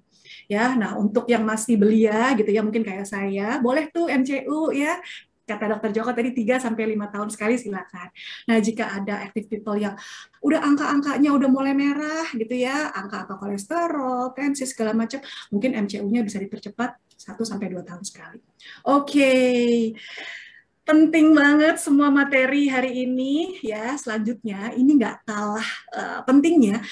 Saya akan mengajak mengundang sahabat saya akan memaparkan materi ketiga ya. Kita akan membahas mengenai diet dash ya nutrisi pada hipertensi. Sekali lagi people semua ya boleh silakan ditanya. Kayaknya udah banyak banget di ribuan pertanyaan sudah masuk ke, ke apa namanya kolom Q&A kami. Ya boleh. Sekali lagi mau bertanya ada formatnya. Nama lengkap underscore domisili, underscore nama narasumber yang dituju, dan juga underscore pertanyaannya. Silakan ya, monggo silakan ditanya, mau ada pertanyaan mudah-mudahan bisa dijawab oleh para narasumber kami. Oke, tanpa berlama-lama, selanjutnya saya akan mengundang Dr. Raisa Edwina Juanda, MGizi SPGK, dokter spesialis gizi klinik, untuk dapat memaparkan materinya. Silakan dokter.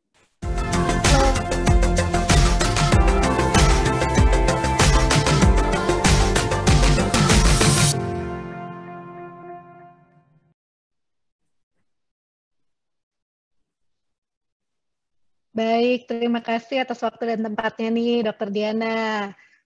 Oke, tanpa berlama-lama saya langsung aja ya. Boleh di-share slide-nya?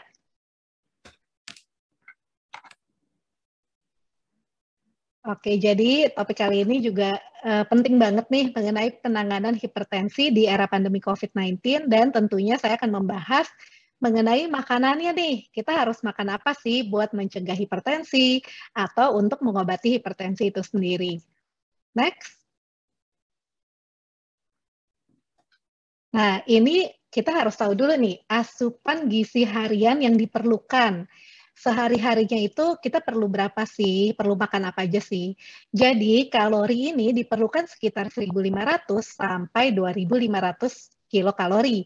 Tapi ini tergantung nih, tergantung usianya, jenis kelaminnya, aktivitas fisiknya. Jadi beda-beda ya setiap orang. Nah, dari kebutuhan kalori tersebut dibutuhkan uh, komposisi yang lainnya nih. Ada karbohidrat. Karbohidrat tuh perlunya lumayan banyak loh, 55 sampai 65 persen. Dan protein, protein ini meskipun persennya hanya 10 sampai 15 persen, tapi kalau di gramin 1 sampai 2 gram per kilogram berat badan per hari, biasanya sehari-hari juga nggak tercapai nih kebutuhan protein kita. Nah, lalu yang ketiga adalah lemak. Lemak ini diperlukan 20 sampai 30 persen, tapi komposisinya harus lemak yang baik atau yang tidak jenuh itu harus lebih banyak dibandingkan dengan lemak jenuhnya dan dibutuhkan uh, vitamin dan mineral sesuai angka kecukupan gizi. Nah, tapi pada kenyataannya orang-orang di Indonesia itu sebenarnya bukan di Indonesia aja ya, rata-rata uh, worldwide pun seperti itu ya. Jadi makannya itu lebih banyak uh, lemaknya, lebih banyak gulanya, kalorinya juga lebih tinggi, apalagi garamnya, dan seratnya pun juga kurang. Nah, oke, okay, next. Nah, kita lihat ya, sebenarnya makannya itu perlunya seperti apa sih, terutama untuk orang-orang yang uh, sudah terkena hipertensi nih. Jadi, ada yang namanya DASH diet. DASH diet ini uh, dietary approach to stop hypertension. Nah, ini boleh banget nih ngikutin piramida makan ini ya. Jadi, makan itu yang paling banyak ini adalah sayur dan buah-buahan. 4 sampai 5 porsi per hari. Nah, buah-buahan dan sayuran diperbanyak ya. Lalu yang diperbanyak kedua itu adalah grains. Grains ini contohnya roti gandum, nasi coklat, eh, nasi merah, contohnya gitu ya. Jadi grains ini diperlukan 6 sampai 8 porsi per hari. Dan yang terbanyak ketiga adalah uh, dairy product yang low fat. Ini masih diperbolehkan 2 sampai 3 porsi. Uh, dan daging-dagingan atau uh, seafood, unggas ini juga diperbolehkan 6 atau kurang ya, kurang dari 6 per hari. Lalu berikutnya diperlukan juga makanan seperti kacang-kacangan, biji-bijian 4 sampai 5 porsi per minggu dengan penggunaan minyak, seperti uh, dan juga turunannya ya seperti salad dressing, mayones, ini 2 sampai 3 porsi per hari masih boleh. Dengan yang paling atas ini sweets atau makanan-makanan manis dan uh, yang tinggi gula. Nah, ini harus dibatasi nih hanya 5 porsi per minggu. Jadi untuk diet hipertensi kalau kita lihat dari DASH diet ini ya, ternyata bukan hanya garam aja nih yang dibatasi, ternyata gula pun juga harus dibatasi. Oke, dan intinya apa di diet ini? Intinya adalah kita harus perbanyak makanan yang mengandung kalium. kalsium, magnesium, serat, dan protein. Karena kelima ini ternyata bisa membantu menurunkan kejadian hipertensi. Dan tentunya kurangi juga konsumsi lemak jenuh dan lemak trans yang juga berbahaya untuk tubuh kita. Dan yang ketiga adalah batasi natrium atau garam. Oke, lanjut lagi. Nah, ada diet kedua yang nggak kalah penting nih, yang bisa juga diikuti selain DASH diet. Apa itu? Mediterranean diet. Nah, Mediterranean diet ini ya, ini kurang lebih sih mirip sama yang DASH diet tadi. Tapi di sini ditambah yang paling bawah nih, yang paling banyak itu apa? Yaitu aktif secara fisik. Nah, jadi olahraga jangan lupa nih. Selain olahraga, kita juga perlu aktif secara fisik ya misalnya uh, berkebun, uh, apa membersihkan rumah itu pun termasuk aktif secara fisik. Dan enjoy meals with others. Ini di sini juga bagus banget ya uh, diet ini ya. Bahkan dari beberapa jurnal dibilang ini Mediterranean diet ini adalah diet yang paling sehat bisa dibilang seperti itu karena selain menurunkan hipertensi ternyata bisa mencegah berbagai penyakit lainnya juga seperti diabetes, penyakit jantung dan lain sebagainya. Nah, lalu yang kita lihat di sini ya, yang boleh dimakan every day atau setiap hari itu apa aja? Sayur, buah, tadi sampah ya, grains, lalu di sini dia spesifik bilangnya olive oil, jadi uh, minyak zaitun ya, lalu kacang-kacangan, biji-bijian, lalu uh, bumbu ya seperti herbs, spices, ini di sini semua boleh dimakan setiap hari. Nah, kalau diet ini, ini juga mengatakan bahwa ikan dan seafood ini uh, sesekali aja, jadi setidaknya dua kali per minggu. Jadi nggak harus setiap hari nih makan seafood ataupun ikan. Dan yang di atasnya lagi, yang lebih jarang lagi, weekly. Jadi hanya dibilang per minggu ya ini adalah apa? Unggas seperti ayam atau bebek, telur, keju, dan juga yogurt. Dan yang paling atas banget nih, kalau di grafik yang tadi Dash Diet kan hanya gula ya. Kalau di sini ternyata meat. Meat itu atau daging merah juga harus paling sedikit jumlahnya. Jadi daging merah dan gula atau makanan-makanan yang manis. Dan di Mediterranean diet ini setiap hari disarankan tetap minum water ya, air putih. Dan kalau wine masih diperbolehkan tapi in moderation atau ya nggak berlebihan. Kalau laki-laki hanya batasannya dua gelas, perempuan satu gelas. Lanjut. Nah, kalau bingung tadi ngikutin uh, yang mana nih jadinya dash atau Mediterranean. Nah, intinya kita paling gampang ini pakai isi piringku nih. Jadi ini satu piring ya. Satu piring setengahnya ini kita isi dengan buah-buahan dan sayur-sayuran. Lalu seperempatnya lagi isi dengan makanan yang proteinnya tinggi dan uh, seperempatnya lagi bisa kita isi dengan contoh karbohidrat dan serat. Jadi contohnya grains tadi ya. Pilihlah nasi uh, selain nasi putih, kita pilihnya nasi yang lebih sehat nih, nasi merah, nasi coklat, atau enggak roti, kita ganti dengan roti gandum. Oke, lanjut lagi.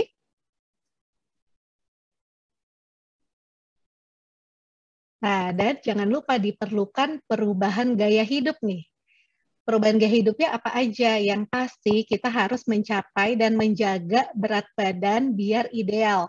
Kenapa? Karena ternyata orang yang kelebihan berat badan ini resiko penyakitnya itu banyak banget. Jadi nggak hanya darah tinggi aja ya, bisa resiko penyakit lainnya dari uh, depresi, gangguan mood, sakit jantung, sakit ginjal, sakit sendi, kanker gitu. Banyak banget penyakit yang berhubungan sama berat badan yang nggak ideal. Lalu yang kedua, batasi garam. Nah, garam ini bisa didapatkan dari mana aja. Bisa dari garam dapur, makanan kaleng atau makanan yang diawetkan, frozen food, makanan instan, dan makanan ultra proses. Ultra proses itu contohnya apa? Makanan yang diproses secara berlebihan nih. Contohnya sosis, ham, bacon, uh, bakso gitu-gitu ya. Nah, ini hati-hati nih, ultra processed food itu masuknya. Dan kita perlu meningkatkan Kalium, kalium itu contohnya ada di ubi, ada di kentang, kedelai, pisang, bayam. Dan yang kedua perlu meningkatkan magnesium. Magnesium contohnya di almond, bayam, kacang-kacangan, dan alpukat. Dan lalu kalsium. Kalsium ini juga ternyata bisa membantu menurunkan tekanan darah. Contohnya ada di yogurt, di ikan sarden, susu low fat, dan juga salmon. Jangan lupa olahraganya 150 sampai 300 menit per minggu. Batasi alkohol, jadi batasannya itu eh, hanya red wine ya. Tadi kalau kita lihat dari Mediterranean diet, red wine-nya pun dibatasin. Laki-laki cuma dua eh, gelas dan perempuan satu. Berhenti merokok karena merokok ini seperti Dokter Joko bilang tadi ya, ini uh, bisa merusak pembuluh darah kita dari ujung kepala sampai ujung kaki. Jadi hati-hati nih. Dan pilihlah lemak yang sehat seperti mufa dan pufa. Hindari safa. Maksudnya safa itu apa? Saturated fatty acid. Jadi hindari lemak yang bersifat jenuh.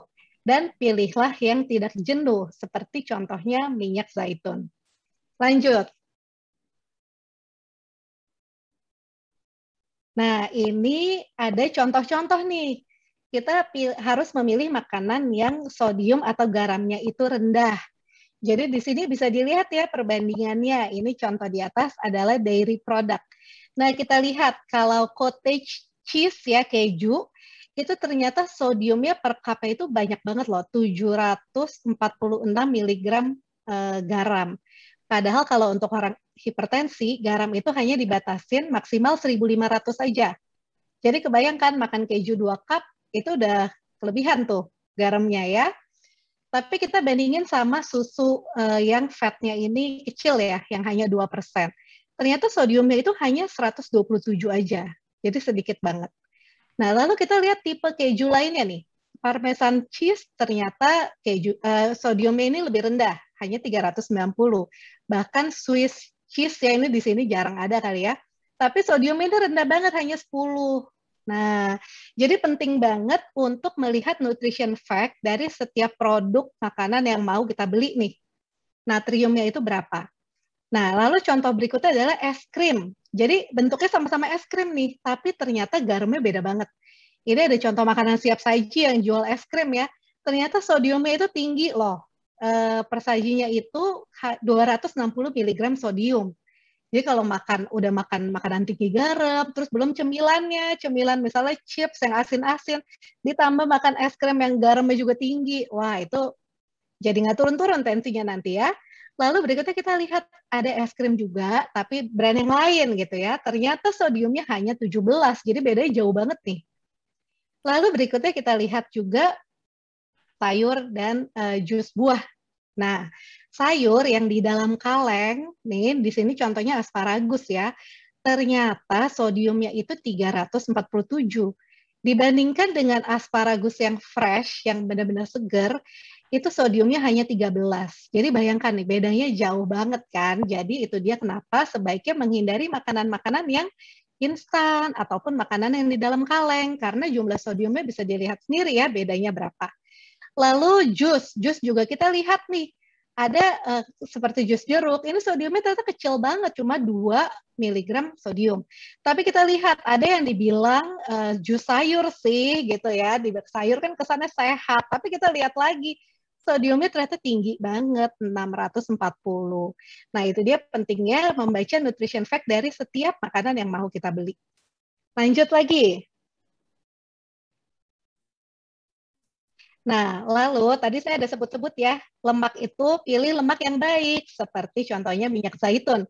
Bahkan dari diet Mediterranean tadi juga dia spesifik ya, tulis olive oil. Sebenarnya ada apa sih di olive oil? Jadi olive oil ini mengandung um, ekstrak yang namanya itu hydrolif. Hydrolif ini kenapa penting? Karena dia ternyata mengandung ya, mengandung zat yang uh, bagus banget untuk kesehatan kita nih apa aja itu, ternyata dia bisa menangkal radikal bebas, bisa memperambat proses penuaan dini, bisa mencegah terjadinya oksidasi LDL atau kolesterol, lalu bisa meningkatkan antioksidan alami di dalam tubuh, bisa menjaga kesehatan kardiovaskular, dan juga membantu kelancaran peredaran darah. Nah, bahkan dari penelitian uh, Life ini ya uh, ini juga mengandung zat yang namanya uh, hydroxytyrosol.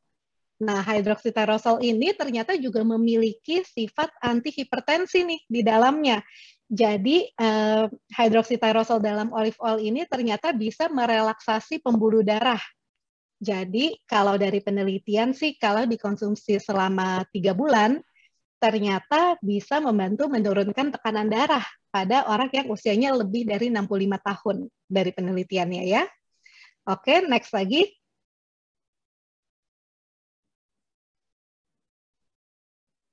Ya, lalu ada lemak yang juga baik untuk kesehatan kita nih. Apa itu? Yaitu omega 3 dan omega 6. Jadi fungsinya juga banyak, tapi intinya adalah bisa mengurangi peradangan di dalam tubuh dan juga bisa uh, bisa anti pembekuan darah, bisa mengurangi tekanan darah, mengurangi resiko dan gejala penyakit seperti mengurangi rheumatoid arthritis, asma, penurunan kognitif, dan juga bisa baik untuk menjaga kadar kolesterol kita. Sedangkan omega 6 sendiri juga memiliki manfaat lain seperti membantu meningkatkan kinerja atau fungsi otak, pertumbuhan sel rambut dan kulit, menjaga kesehatan tulang, dan juga menjaga metabolisme tubuh. Oke, next. Jadi sebagai kesimpulannya, diet yang paling baik untuk hipertensi adalah DASH diet atau Mediterranean diet. Terapkan pola hidup sehat, capai berat badan ideal, batasi asupan garam, gula, lemak jenuh, dan lemak trans, dan juga pilihlah lemak sehat seperti uh, MUFA dan juga PUFA. Oke, demikian dari saya. Terima kasih.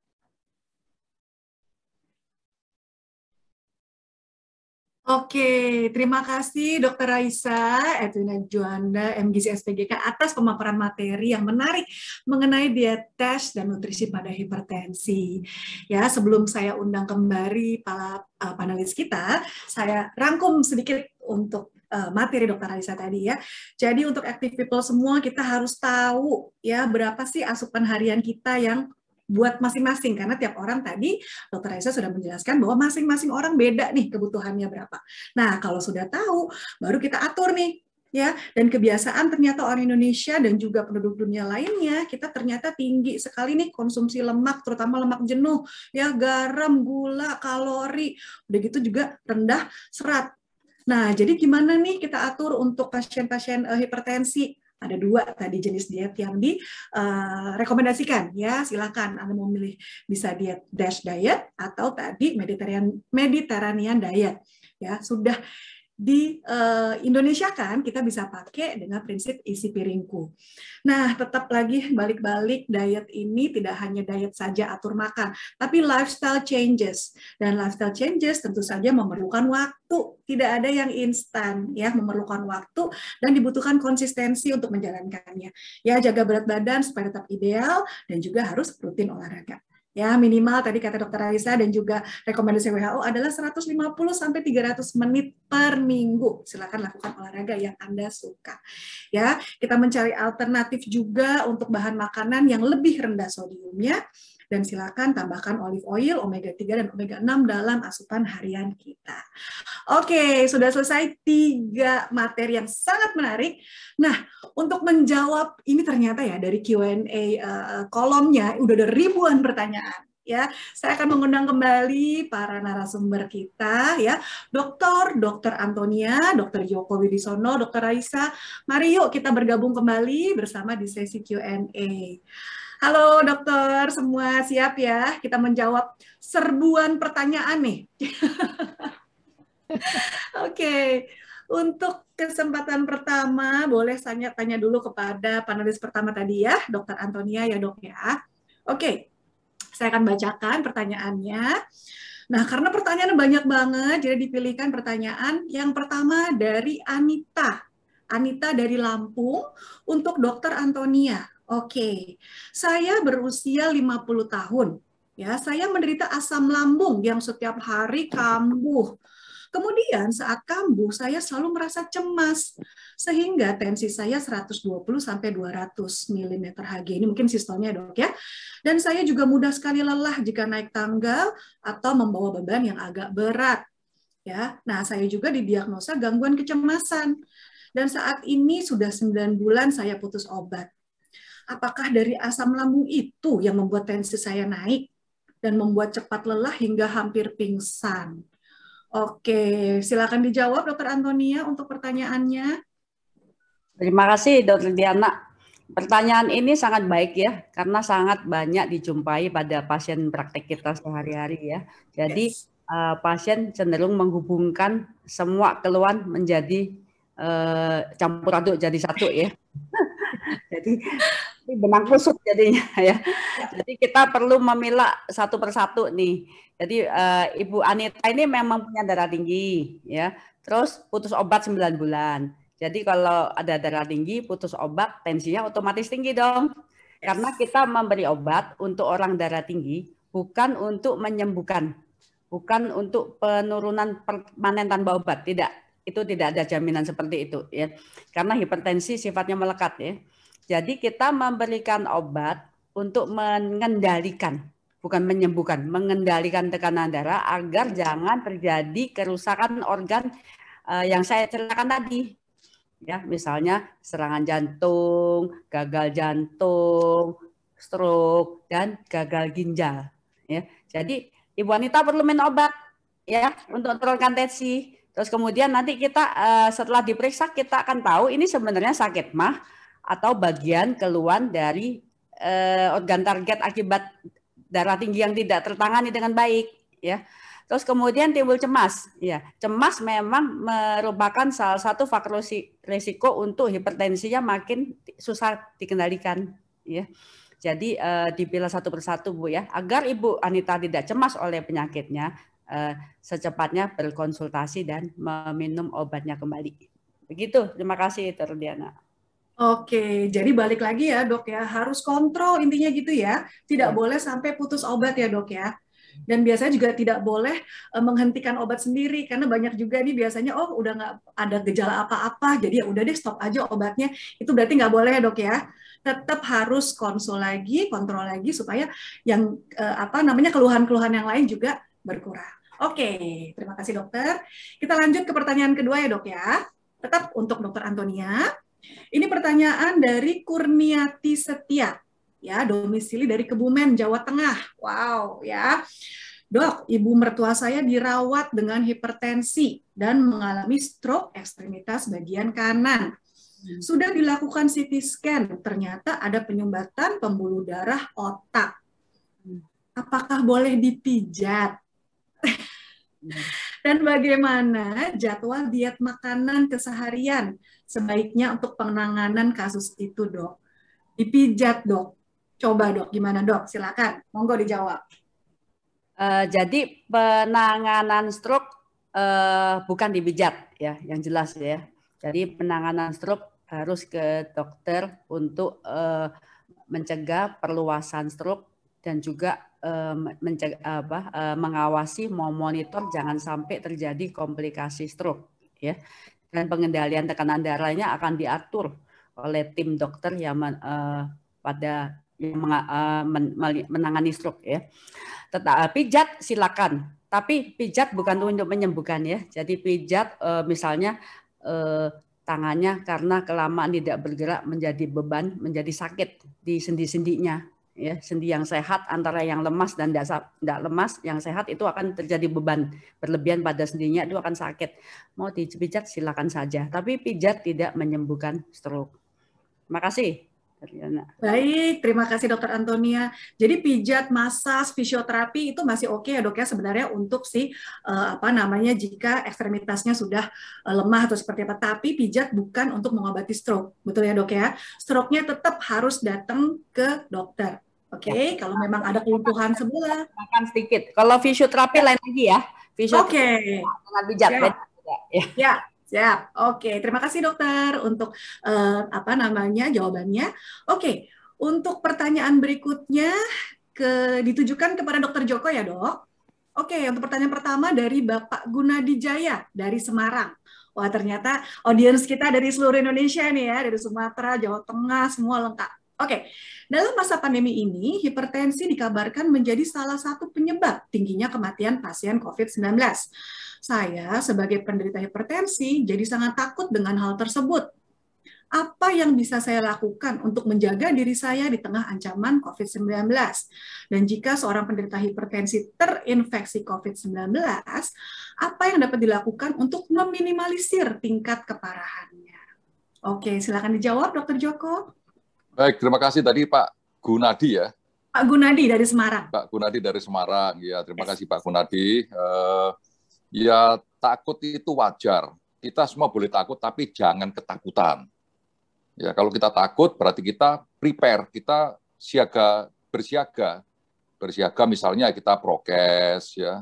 Jadi kita pakai masker, jaga jarak, kita vaksin ya. Jadi itu harus dikerjakan Pak Guna, Gunawan Gunawan tadi ya. Harus dikerjakan. Apakah Pak Pak Gunadi, apakah Pak Gunadi sudah sudah melakukan prokes yang baik? Apakah sudah divaksin? Apakah tetap meminum obatnya dengan baik?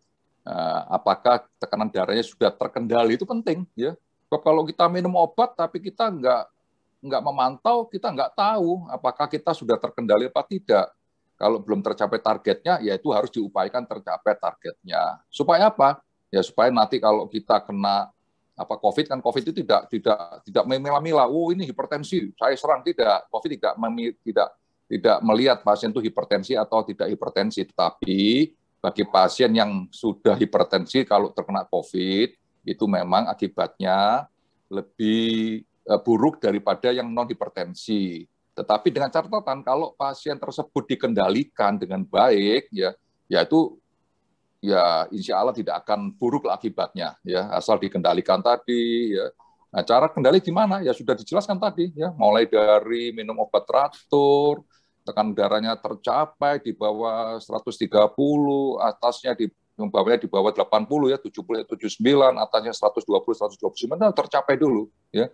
Kemudian rajin olahraga ya, makanan yang bergizi, berjemur ya, itu itu harus dikerjakan semua ya.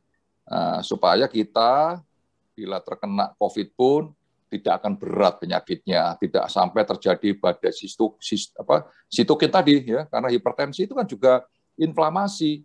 Sitokin itu juga inflamasi, tapi tadi sudah dijelaskan Dr. Antonia bahwa itu terjadi inflamasi kecil-kecilan baik pada hipertensi, obesity, itu inflammation ya. Jadi inflamasi itu umum, termasuk penuaan itu inflamasi. Maka itu kalau kendalikan hipertensinya, kendalikan kolesterolnya itu anti aging ya. Jadi obat menghambat penuaan. Jadi obat hipertensi, olahraga, kendalikan gula darah, eh, diet yang baik itu anti aging secara tidak langsung karena memperbaiki vaskuler ya. Demikian. Dokter Diana. Baik, baik, terima kasih Dokter Joko atas penjelasan yang sangat menyeluruh. Oke, lanjut ke pertanyaan berikutnya ya Dokter ya. Dari Mega, Jakarta Utara. Kembali pertanyaan kepada Dokter Joko. Kenapa pasien COVID berat dan dirawat di ICU yang awalnya tidak ada komorbid seperti hipertensi dan DM, ternyata bisa timbul hipertensi. Setelah sembuh COVID, setelah sembuh COVID-nya, maka hipertensi hilang. Mohon saran, bagaimana patofisiologinya dok bisa terjadi seperti ini? Nah, gimana dok patofisiologi dari dokter Mega di Jakarta Utara? Eh, baik, dokter Mega ya. Jadi ini tadinya tidak ada hipertensi, tidak ada diabetes, tetapi begitu kena COVID berat, malah timbul hipertensi dan diabetesnya ya.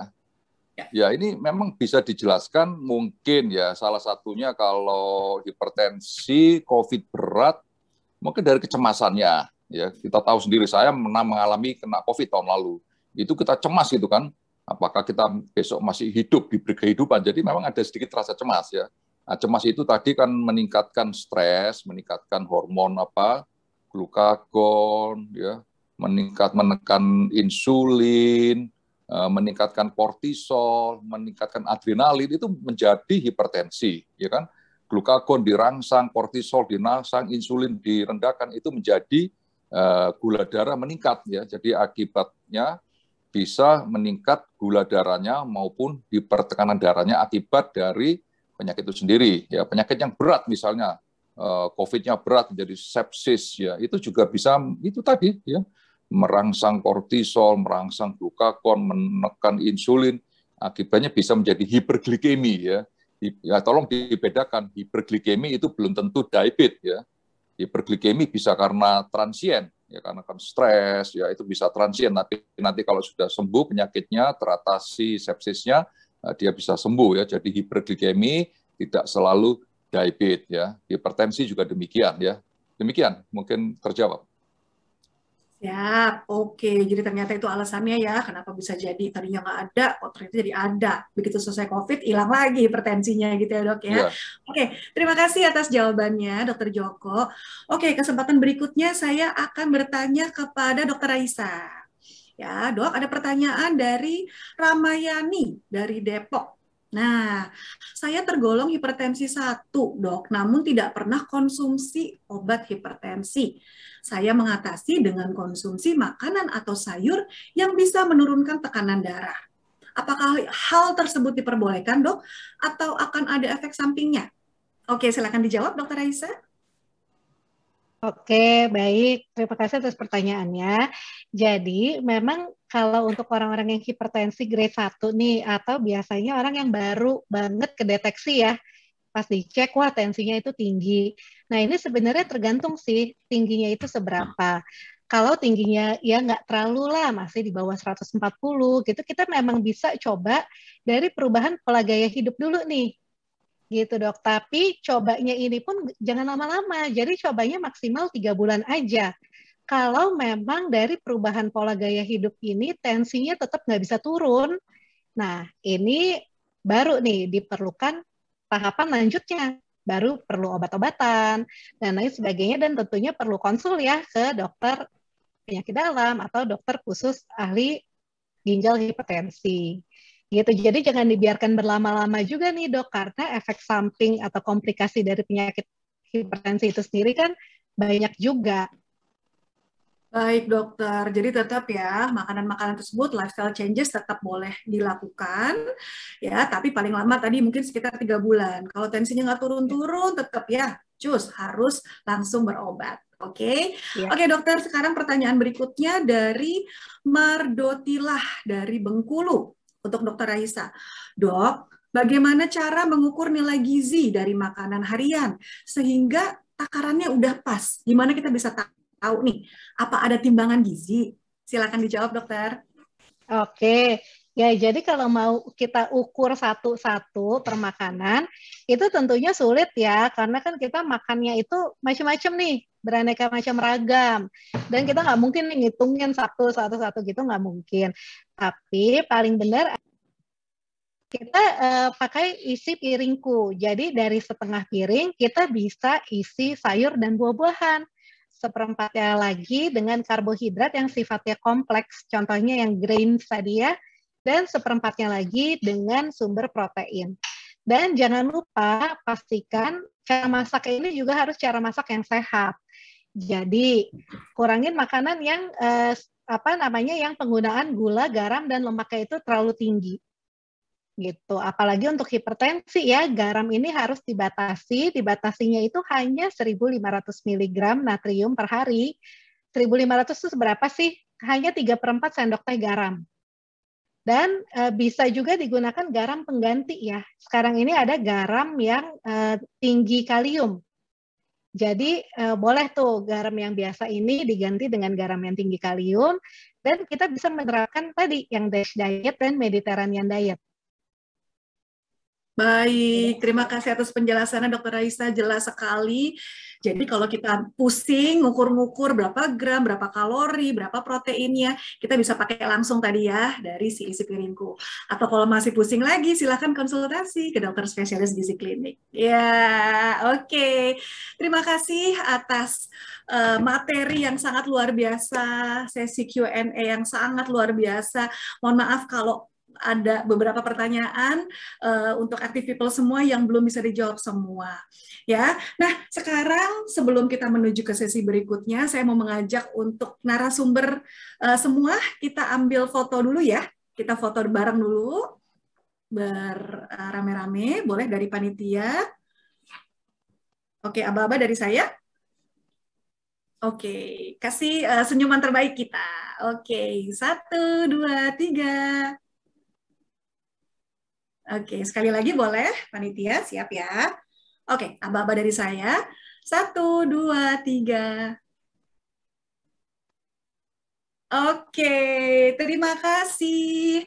Terima kasih atas kesediaannya. Terima kasih kita sudah foto-foto. Um, kemudian uh, saya menyampaikan terima kasih kembali kepada Dr. Dr. Antonia, Dr. Joko Wibisono, dan Dr. Raisa Edwina Juanda telah berbagi bersama kita semua di sini. Oke. Okay.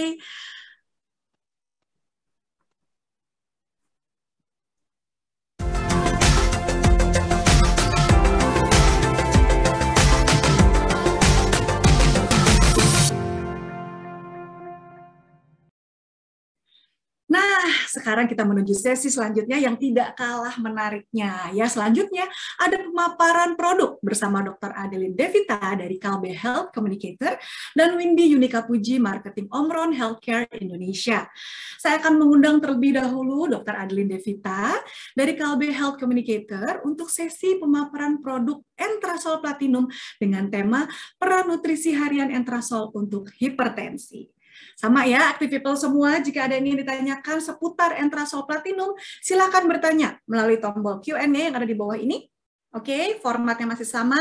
Nama lengkap, underscore domisili, underscore nama narasumber yang ingin ditanyakan, dan underscore underscore pertanyaannya.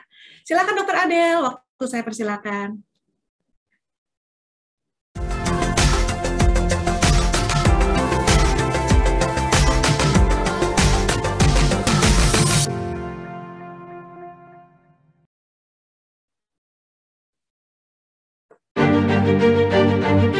Seiring bertambahnya usia, lansia mulai kehilangan kemampuan untuk menangkal radikal bebas yang masuk ke tubuh sehingga dapat mempercepat proses penuaan.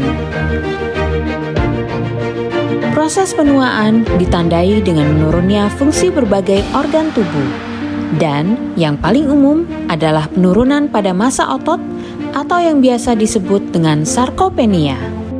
Satu dari tiga lansia di dunia berpotensi menderita sarkopenia. Sarkopenia dapat menyebabkan meningkatnya malnutrisi, resiko jatuh, gangguan kemampuan untuk melakukan aktivitas sehari-hari, gangguan mobilitas, menurunnya kualitas hidup, bahkan meningkatkan resiko kematian pada lansia. Memperkenalkan inovasi terbaru dari Kalbe Nutritionals Entrasol Platinum dengan Profit Advance Formula dan dilengkapi kebaikan ekstrak buah zaitun yang mengandung hydrositirosol sebagai antioksidan alami dengan jumlah yang lebih tinggi dibandingkan dengan jumlah antioksidan di dalam vitamin C dan green tea. Antioksidan membantu menangkal radikal bebas, melindungi sel dari oksidatif stres, mencegah terjadinya LDL kolesterol, serta mengurangi potensi terjadinya penyumbatan aliran darah. Entrasol Platinum juga mengandung nutrisi tinggi protein yang efektif untuk membantu menjaga massa otot, meningkatkan imunitas, dan mempercepat masa pemulihan. Dilengkapi dengan nutrisi tinggi serat, omega 3 dan 6, serta rendah laktosa yang aman untuk pencernaan tubuh lansia. Entrasol, nutrisi setiap hari. Entrasol. Shh, ini rahasia saya. Cuma Entrasol yang ada ekstrak buah zaitunnya. Ekstrak buah zaitun di Entrasol bantu tangkal radikal bebas. Entrasol tinggi proteinnya bantu jaga massa ototku. Entrasol itu rendah laktosa, bikin nyaman di perut. Biar tetap aktif, saya minum Entrasol dua kali sehari. Mereka minum Entrasol. Bagaimana dengan Anda? Entrasol, nutrisi setiap hari. Oke, baik. Terima kasih Dokter Diana sebelumnya. Selamat sore untuk para active people di rumah. Selamat sore, semoga kita selalu dalam kondisi yang sehat. Sore ini saya mau men-sharingkan terkait dari manfaat Entrasol Platinum, di mana sebelumnya sudah dijelaskan oleh narasumber-narasumber expert sebelumnya terkait dari manfaat dari berbagai terapi, dari obat-obatan, aktivitas fisik, olahraga maupun terapi nutrisi medis. Salah satu yang bisa saya sampaikan pada sore hari ini yaitu salah satu simplifikasi yang bisa didapatkan untuk para active people agar dapat menjaga tekanan darah khususnya di era pandemi COVID yang memang tadi kita lihat bahwa orang yang memiliki riwayat hipertensi yang mengalami tekanan darah tinggi ini rentan sekali tadi untuk hmm. mengalami salah satunya adalah badai sitokin dan juga berdasarkan dari prevalensi yang kita dapatkan dari covid.go.id orang yang mengalami hipertensi banyak sekali yang uh, terjadi morbiditas maupun mortalitas yang lebih tinggi. Silakan di-share untuk slide-nya. Entrasol Platinum, di mana tadi saya sampaikan, dapat menjadi salah satu pilihan untuk para active people di rumah untuk dapat memenuhi kebutuhan nutrisi harian. Yang sebelumnya sudah dijelaskan dari berbagai jenis diet seperti DASH diet maupun Mediterranean diet. Uh, next slide. Dari nutrisi Entrasol Platinum, kita dapat membantu untuk melihat juga dari kesehariannya seperti untuk menjaga kesehatan untuk mendapatkan better protection di kemudian hari. Dengan kandungannya yaitu adalah Hytolife atau hidroksipirosol yang merupakan turunan dari golongan polifenol yang berdasarkan dari rekomendasi EFSA, kandungan dari entrasol platinum yaitu adalah 5 mg hidroksipirosol yang tentunya ketika kita membantu memenuhi kebutuhan antioksidan harian yang didapatkan dari Hytolife ini, tentunya dapat menjaga untuk kesehatan tubuh kita, serta kandungannya yang tinggi akan protein, persajian dari entrasol platinum yaitu adalah 12 gram persajian, di mana saat ini manfaat dari protein banyak sekali dibahas di akhir-akhir ini karena tentunya memiliki manfaat terkait dari imunitas tubuh kita untuk menangkal atau mencegah terjadinya atau terpaparnya COVID-19 saat ini. Serta juga tadi ada kaitannya antara dari masa otot hingga daya tahan tubuh atau dari myokines tadi yang berefek terhadap imunitas yang tentunya dengan ada kandungan entrasol platinum yang memiliki tinggi akan protein bisa membantu menjaga masa otot dan mempercepat masa penyembuh masa penyembuhan jika para active people sedang mengalami sakit. Lalu berikutnya untuk kandungan dari entrasol platinum adalah tinggi akan serat yaitu 3 gram per sajian dari entrasol platinum ini yang ternyata manfaatnya tidak hanya untuk menjaga dari kesehatan saluran pencernaan. Ternyata juga dapat untuk membantu menurunkan dari uh, blood pressure atau tekanan darah arterial di dalam tubuh yang terkait dari manfaat dari entrosol platinum terhadap pasien-pasien yang mengalami hipertensi. Lalu juga dari kandungan serat yang tinggi, ini bisa membantu untuk memenuhi kebutuhan serat harian active people di rumah. Karena pada keseharian umumnya orang-orang membutuhkan sekitar 25 sampai 30 gram untuk serat konsumsi hariannya. Karena dari beberapa referensi pun mengatakan bahwa lebih dari 70% jika saluran pencernaan tubuh kita yang sehat karena salah satunya dari asupan serat ini bisa membantu juga untuk menjaga daya tahan tubuh. Kandungan berikutnya yang tidak kalah pentingnya yaitu tentunya adalah vitamin, mineral omega 3 dan 6. Yang aktif people di rumah semuanya pasti menambahkan untuk kesehariannya di rumah di era pandemi COVID saat ini agar dapat menjaga imunitas. Dan omega 3 ternyata juga perlu diketahui bahwa dapat meningkatkan respon dari vasodilatasi atau pelebaran pembuluh darah yang dapat membantu untuk penurunan dari tekanan darah yang berkaitan tadi dengan pasien-pasien yang misalkan mengalami hipertensi atau tekanan darah yang tinggi. Lalu berikutnya adalah kandungan yang rendah akan laktosa, di mana pada umumnya susu memiliki gula gula susu ya namanya gula susu atau laktosa. Laktosa ini yang dapat menyebabkan umumnya orang yang tidak nyaman ketika konsumsi susu itu dinamakan intoleransi laktosa. Sedangkan dengan kandungan dari Entrasol Platinum yang hanya 1 gram per sajian ini dapat menjadi lebih aman, pilihan yang lebih uh, menenangkan untuk orang-orang yang umumnya mengalami misalkan mual atau mengalami muntah, perutnya bergas. Ini bisa lebih aman mengkonsumsi susu dari Entrasol Platinum. Dan kandungannya juga yang rendah akan gula yaitu hanya 5 gram per sajian dibandingkan dengan susu sejenis yang misalkan dikonsumsi oleh active people uh, semuanya. Karena sebelumnya juga Dokter Raisa sudah sampaikan harus memperhatikan tadi dari note fact dari masing-masing komposisi suatu bahan makanan yang kita konsumsi sehari-hari. Kita harus mengetahui dari jumlah misalkan dari karbohidratnya, protein, sumber lemak baik, dan juga misalkan kandungan vitamin mineral maupun gula ataupun garam yang terkait dari hipertensi tadi. Slide berikut.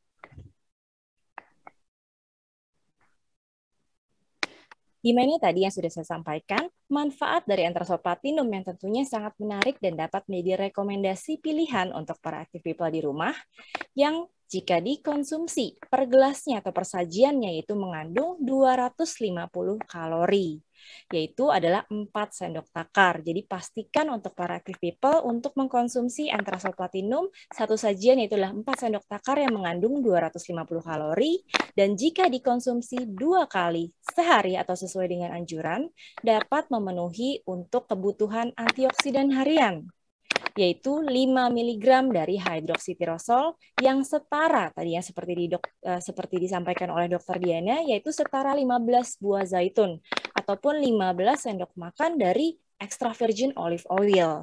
Tentunya untuk para active people yang tadi kalau kita merefer kepada slide dari Dr. Raisa, banyak sekali manfaat dari antioksidan yang bisa diberikan oleh uh, Hytolife ini atau dari polyphenol. Slide berikut.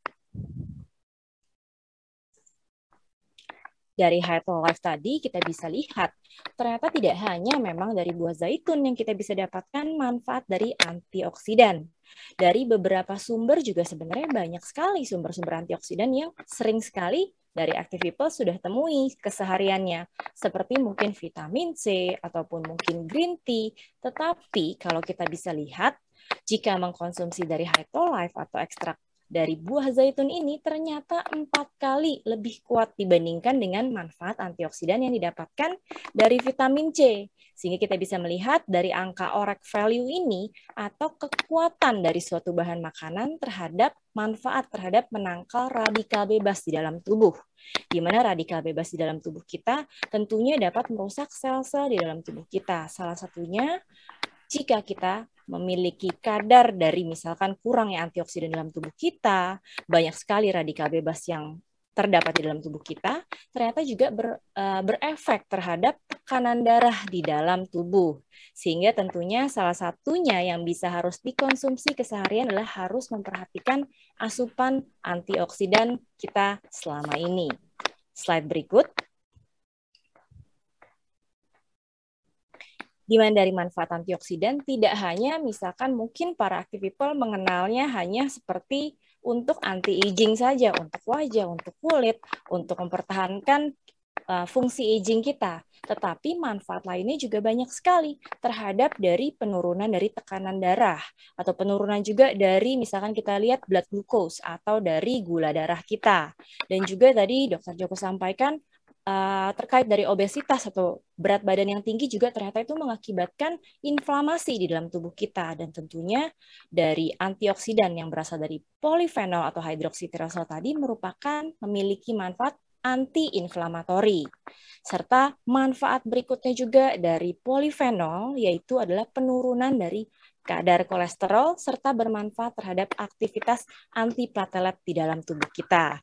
Tentunya dengan berbagai manfaat yang mungkin tidak semua orang ketahui saat ini dan kita bisa dapatkan manfaatnya atau kita ketahui manfaatnya saat ini yang dapat ternyata menurunkan untuk resiko terjadinya kardiovaskuler. Jadi keseluruhan ini itu memberikan efek atau melit kepada manfaat-manfaat yang lebih baik terhadap tubuh kita dengan adanya penurunan dari misalkan tadi kadar kolesterol itu bisa menurunkan dari resiko penyakit jantung, atau juga manfaat dari penurunan tadi kadar gula darah juga ternyata baik untuk uh, mencegah terjadinya penyakit diabetes mellitus ataupun juga tadi manfaat-manfaat untuk metabolisme tubuh lainnya. Jadi jika memang sulit untuk para active people di rumah mendapatkan misalkan antioksidan, harus membeli suplementasi atau memilih dari suatu bahan makanan yang mengandung tinggi antioksidan, bisa didapatkan dari Antrasol Platinum. Next. Antrasol Platinum sebagai pilihan nutrisi setiap hari yang dapat membantu memenuhi kebutuhan nutrisi harian, khususnya tadi mengandung akan polifenol, hytolif, atau ekstrak buah zaitun yang umumnya lebih dikenal oleh para active people di rumah. Sehingga dengan manfaat-manfaat tersebut diharapkan dapat menjaga daya tahan tubuh di era pandemi COVID, serta dapat menjaga dari tekanan darah yang berkaitan tadi dengan pasien-pasien yang sudah mengalami hipertensi. Tapi tentunya harus memperhatikan dulu yang rekomendasi misalkan obat-obatan yang sudah direkomendasikan oleh dokter atau seperti tadi dokter Aisyah sampaikan jika memang ingin mencegah terjadinya tekanan darah yang tinggi harus memperhatikan dari pola makan yang sehat bisa didapatkan salah satunya dengan entrasol. Sekian mungkin presentasi dari saya. Terima kasih. Silakan Dokter Diana. Oke, terima kasih Dokter Adel atas waktunya untuk memberikan informasi yang sangat menarik mengenai entrasol platinum, nutrisi tinggi protein dengan ekstrak buah zaitun yang baik untuk penderita hipertensi. Profit formula yang terkandung dalam entrasol platinum seperti tinggi serat, omega 3 dan 6, rendah laktosa, dan lebih rendah gula yang dapat membantu jaga daya tahan tubuh kita serta mempercepat proses pemulihan. Jadi, entrasol merupakan pilihan tepat untuk dapat dikonsumsi sehari dua kali ya, active people. Oke, selanjutnya kita akan menuju pemaparan kedua yang tentunya juga sangat menarik nih, active people. Saya akan mengundang Ibu Windy Yunika Puji sebagai marketing dari Omron Healthcare Indonesia untuk sesi pemaparan produk Omron dengan tema mencegah hipertensi dengan rajin mengecek tekanan darah. Lagi-lagi jika ada active people semua yang ingin ditanyakan ya seputar Omron, silakan silakan langsung aja bertanya melalui tombol Q&A yang ada di bawah ini ya formatnya masih sama ya active people. Nama lengkap underscore domisili underscore nama narasumber yang ingin ditanyakan dan juga underscore pertanyaannya. Oke silakan Ibu Windy saya berikan kesempatan kepada Anda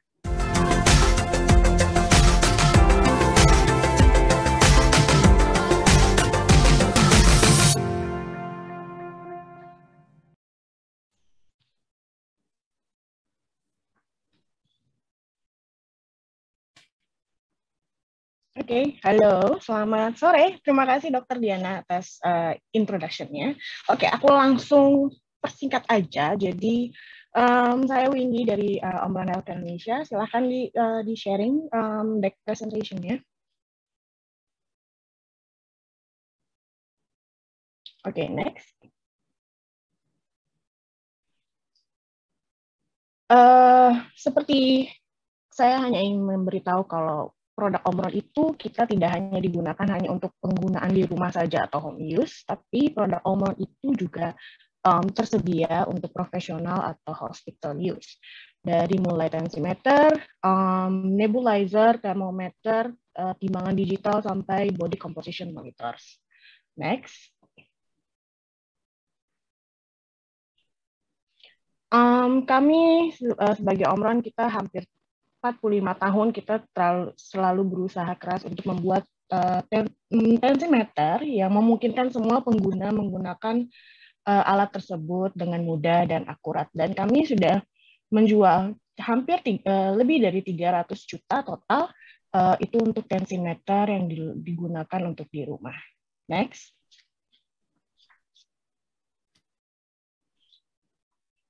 Ini hanya sebagai rekap, pasti semua orang sudah tahu apa sih sebenarnya hipertensi. Hipertensi itu adalah ketika uh, kondisi di mana tekanan sistolik uh, dan diastoliknya itu melebihi standar yang ditetapkan setelah biasanya melakukan pengukuran 2 sampai 3 kali pengukuran.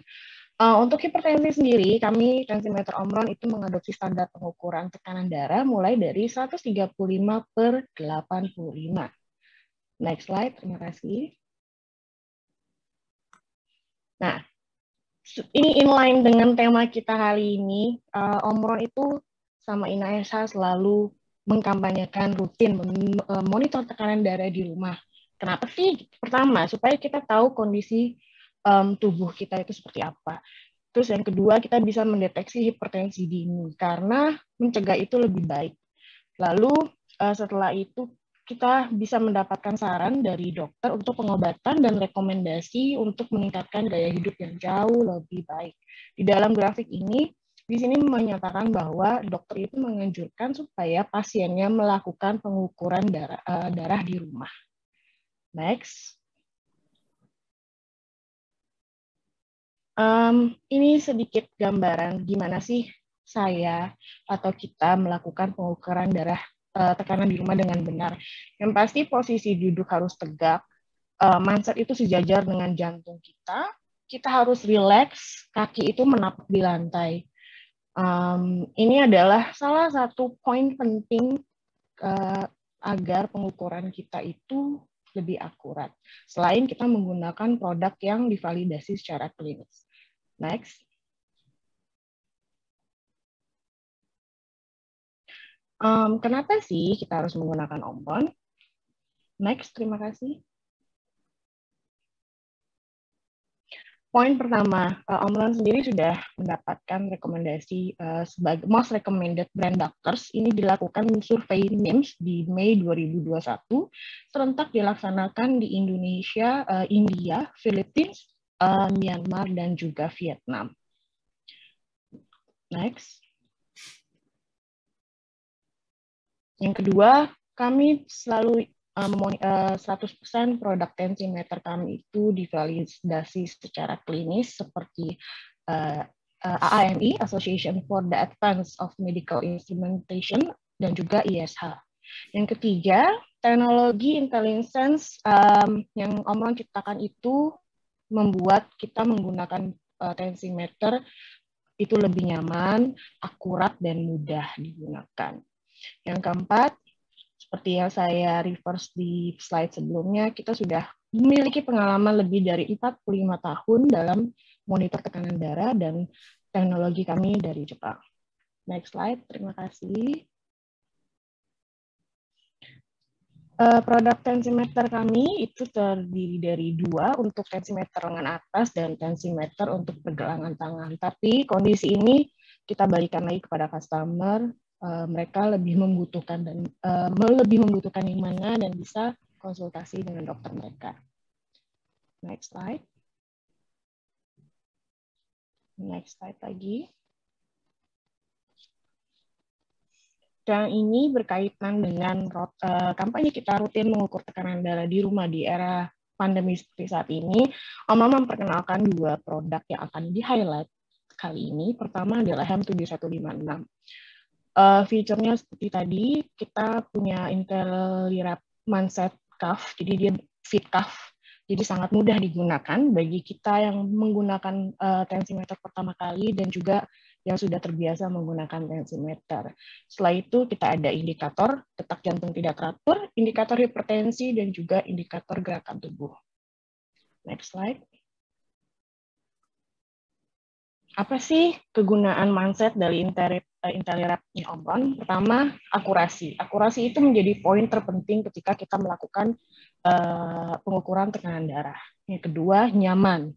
Kita menciptakan mindset yang nyaman digunakan uh, dengan satu tangan, jadi tidak perlu repot meminta tolong orang atau keluarga yang lain di rumah.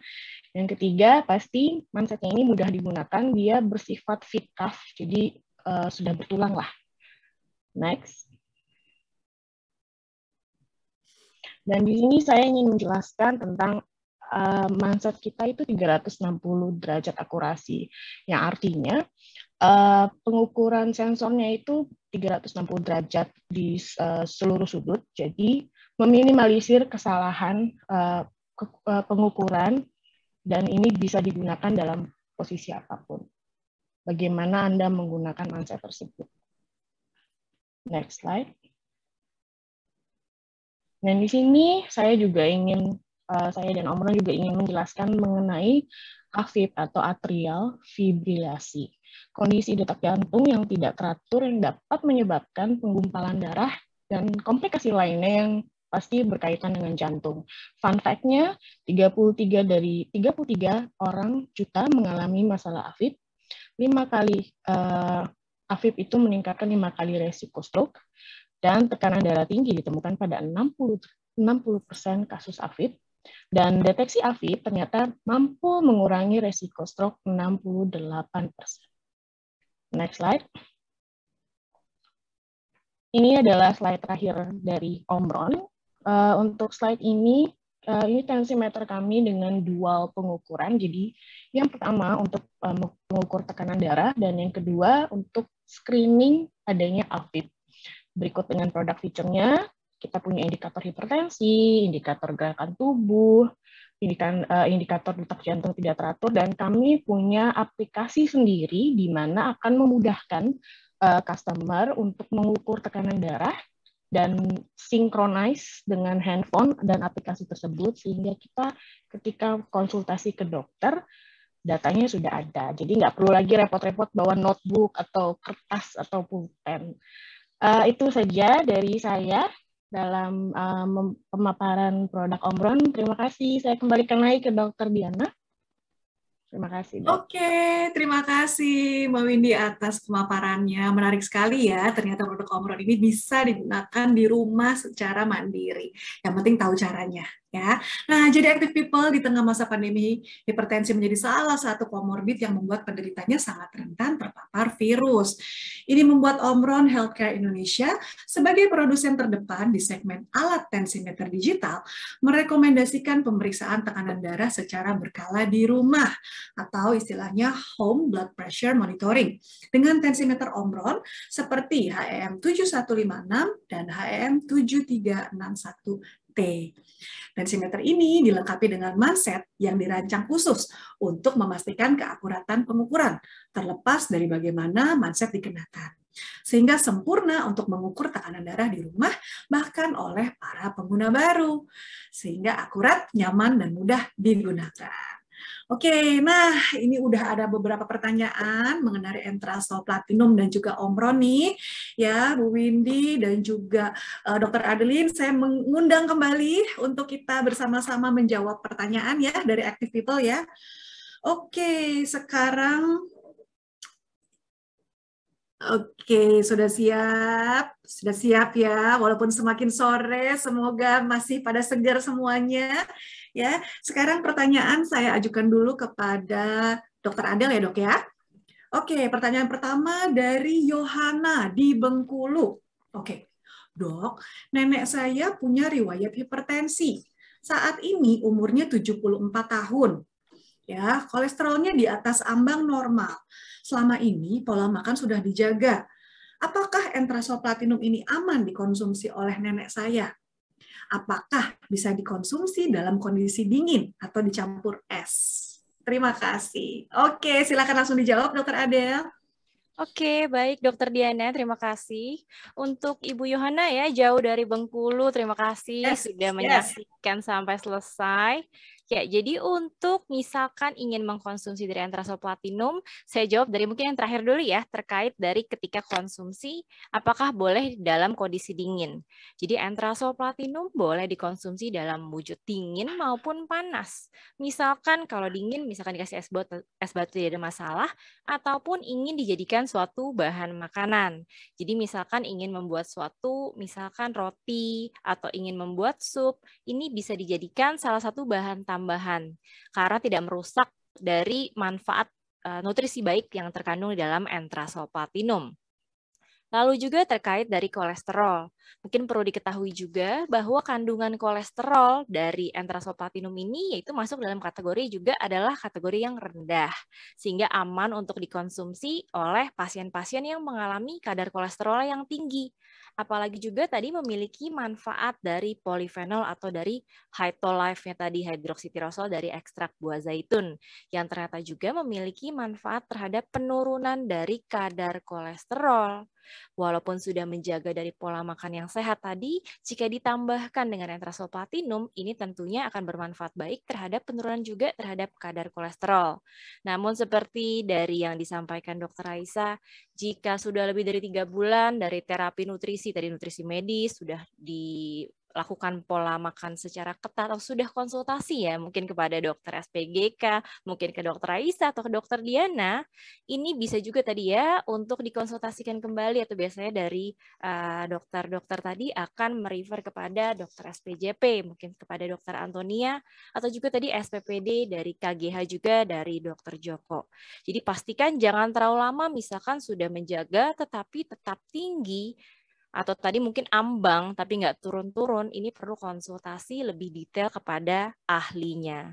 Jadi jangan terapi diri sendiri, uh, terapi diri sendiri karena kita tidak tahu mungkin uh, seperti apa untuk penurunannya, apa targetnya seperti apa, itu perlu diketahui secara detail. Dan juga tadi mungkin pertanyaan juga merefer kepada penyakit diabetes mellitus ya mungkin ya dokter Diana tadi ya kandungan dari antrasol juga ya. uh, indeks glikemiknya masuk ke dalam kategori rendah sehingga tentunya aman untuk dikonsumsi oleh orang-orang yang memiliki riwayat penyakit diabetes mellitus. Jadi boleh dikonsumsi untuk pasien diabetes mellitus. Tapi tentunya harus memperhatikan dari jumlah kalorinya karena umumnya pasien diabetes mellitus harus untuk memperhitungkan kalori hariannya, asupan hariannya, di mana setiap sajian dari entrasol platinum kandungannya adalah 250 kalori.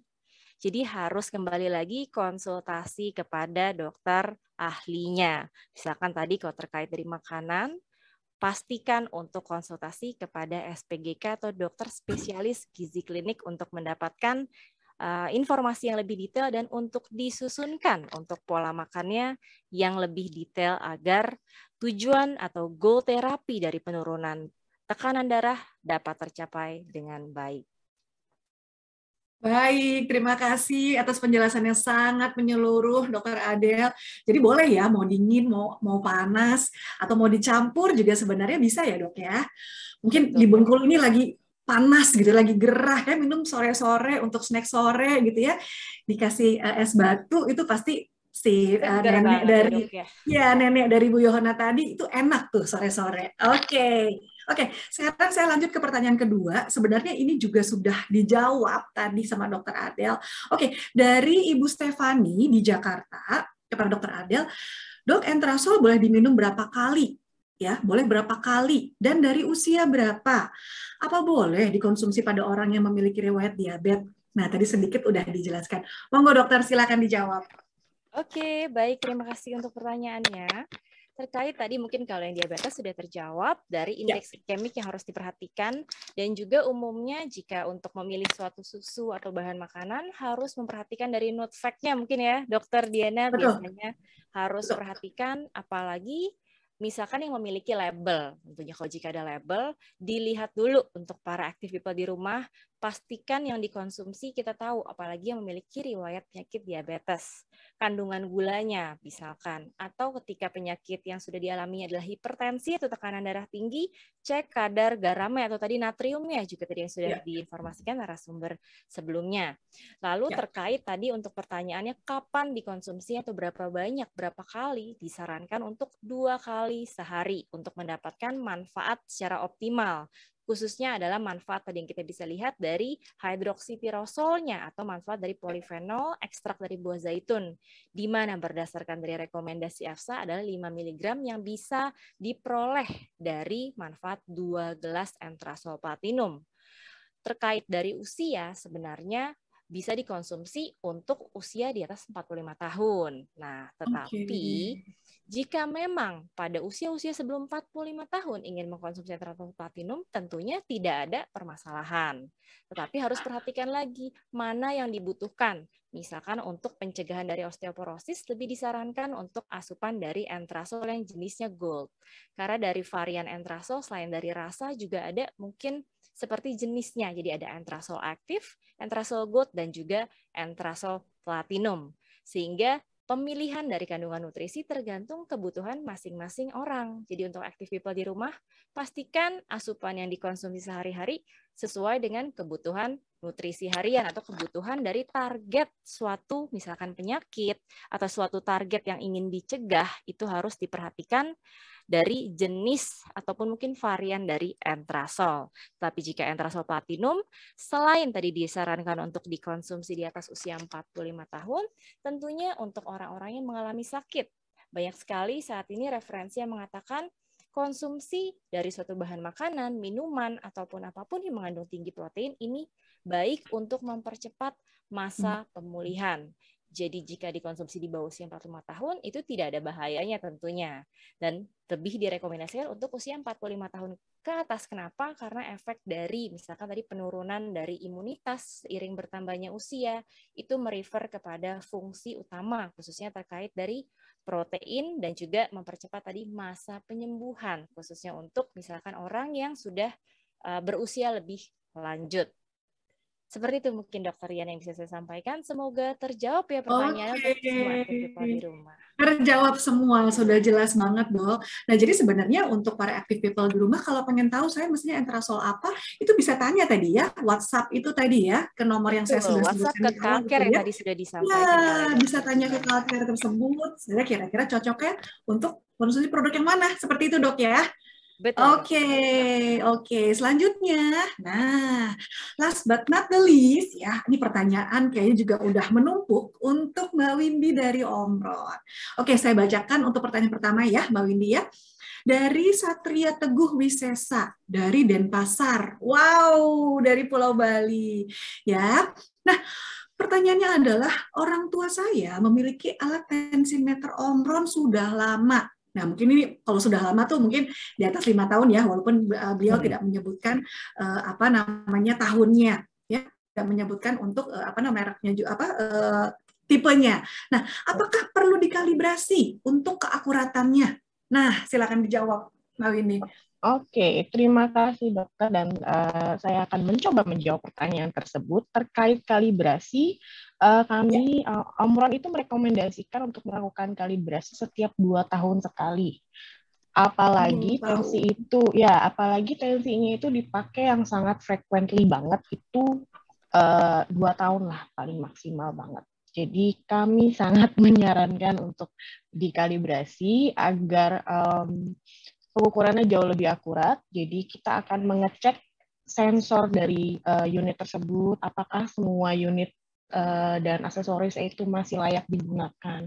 Seperti itu. Semoga bisa menjawab dari pertanyaannya ya. Oke, boleh saya tanya sedikit ya Mbak Winnie. Terus kalau kita mau kalibrasi gitu ya, hmm. misalnya orang di rumah yang sudah punya uh, alat ya. tensimeter omong itu bisa ke mana Mbak? Oh betul dok. Jadi saya uh, langsung kirim aja ke kantornya Omron, itu bisa dilihat di web atau saya sebut di sini, apakah dicatat atau gimana.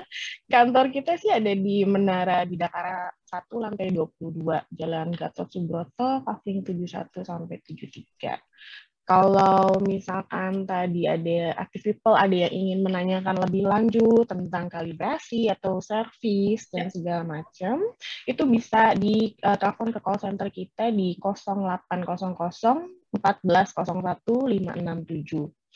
Uh, untuk biaya kalibrasi kita free selama produk Omron tersebut masih under uh, warranty. Untuk tensi sendiri kita garansi lima tahun. Gitu. Baik. Gitu aja Boleh diulang sekali lagi Mbak nomor Boleh, nomor chatnya tadi. Uh, uh, nomor teleponnya adalah 0800 1401 567 itu uh, bebas pulsa ya. Oke, siap. Ini udah ada juga di chat untuk Bapak Ibu semua yang mau ya. kalibrasi. Silahkan hubungi nomor tersebut. Ya, oke itu call center ya. Oke, ya, next kita lanjut ke pertanyaan kedua dari Nathaniel di Jakarta. Untuk Mbak Windy juga nih. Mbak, lebih akurat mana ya tensimeter yang pakai manual dengan air rasa atau yang digital? Terus pertanyaan okay. berikutnya nyambung nih, nyambung nih pertanyaannya. Hmm, hmm. Terkadang pakai yang digital kenapa bisa lebih tinggi ya? Oke, oh. silakan dijawab. Oke, baik. Saya akan mencoba menjawab pertanyaan tersebut. Terima kasih atas pertanyaannya. Um, kalau uh, yang bisa saya jawab adalah uh, yang pasti uh, ketika Anda mengukur itu harus menggunakan produk yang divalidasi secara klinis. Di situ akan terlihat akurasi dari produk tersebut. Kalau mem perbedaan antara air raksa dengan digital itu pasti ada. Uh, biasanya ada beberapa faktor sih uh, jika ada perbedaan angkamu beberapa faktor seperti posisi penggunaan atau juga ada white coat hypertension itu yang biasa terjadi ketika datang ke klinik atau ngukur dokter itu kita malah uh, angka tensinya lebih tinggi. Itu juga ya, itu biasa terjadi kan dok ya, ke dokter takut gitu ya. Aduh takut terus tensinya naik gitu ya. Mungkin ya oh, oke. okay. bisa, bisa terjadi. Jadi uh, dan uh, biasanya kita merekomendasikan ketika seseorang ingin melakukan tensi itu harus relax 30 menit sebelumnya. Ya. misalkan dok uh, saya habis pulang kerja itu jangan direkomendasikan untuk langsung ngukur itu pasti hasilnya akan naik. Jadi kita relax 30 menit sebelum makan eh, setelah makan sebelum habis mandi makan minum jangan merokok dulu jangan minum kopi gitu. itu sih beberapa faktor yang mempengaruhi pasti ada akan adanya perbedaan. Itu aja dari saya semoga bisa um, menjawab pertanyaannya Terima kasih. Baik, terima kasih atas jawabannya. Ya. Ini sebenarnya tadi sama pertanyaannya banyak, cuman memang karena keterbatasan waktu ya, Active People kita hanya bisa menjawab masing-masing dua pertanyaan kepada masing-masing uh, apa namanya narasumber. Oke, sebelum kita umumin ya ada hadiah sebagai penanya terbaik. Kita foto dulu ya untuk sesi Q&A yang uh, ini, yang sesi kedua. Boleh panitia siap-siap, aba-aba dari saya. Kita foto. Satu, dua, tiga. Oke, cukup ya. Oke, terima kasih sekali lagi kepada Dr. Adelinda Vita dari Kalbe Health Communicator dan Mbak Windy Yunika Puji dari Marketing Omron Healthcare Indonesia atas waktunya untuk talk show bersama Active People di rumah, serta menjawab beberapa pertanyaan dari Active People di rumah. Nah, kemudian acara selanjutnya, saya mau memberikan informasi, sudah ada 10 penanya terbaik Wah, 10 penanya terbaik yang berhak mendapatkan hadiah dari Entrasol, dari Calcare, dari Indonesian Society of Hypertension atau INSH, dan dari Omron Healthcare Indonesia. Sebentar ya, kita lihat contekan dulu. Nah, selamat kepada 10 penanya terbaik. Anita dari Lampung, kemudian Kurniati Setia dari Kebumen, Jawa Tengah, Gunadi Jaya dari Semarang, Dr. Mega Jakarta Utara, Ramayani dari Depok, Mardotilah dari Bengkulu, Yohana dari Bengkulu, Stefani dari Jakarta, Satria Teguh Wisesa dari Denpasar, dan Nathaniel dari Jakarta. Yeay, selamat kepada active people yang beruntung ya. Nama-namanya tadi sudah disebutkan 10 pemenang ya untuk best Q&A tadi ya. Silakan menghubungi panitia melalui link bit.ly garis miring penanya terbaik. Ya, langsung ketik aja di kolom chat untuk klaim hadiahnya. Ya, chatnya langsung ditujukan kepada panitia ya jadi melalui link bit.ly garis miring penanya terbaik. Ya silakan. Data pemenang bisa dicek juga di kolom chat. Oke mungkin di sebelah sini di kolom chat ada data pemenang. Ah, aku menang nggak nih, saya menang nggak nih, gitu. Oke, selamat ya kepada active people semua yang menang. Yang nggak menang jangan kecil hati, tunggu kita di acara-acara berikutnya. Ya, active people sudah tidak terasa kita sudah sampai di akhir acara webinar kesehatan penanganan hipertensi di era pandemi bersama Entrasol, Calcare, Indonesian Society of Hypertension (INASH) dan Omron Healthcare Indonesia. Kami ucapkan terima kasih sebesar-besarnya kepada active people di rumah. Mohon maaf jika ada salah-salah kata. Akhir kata, saya Diana Suganda, pamit undur diri. Sehat-sehat ya semuanya. Stay safe and healthy. See you!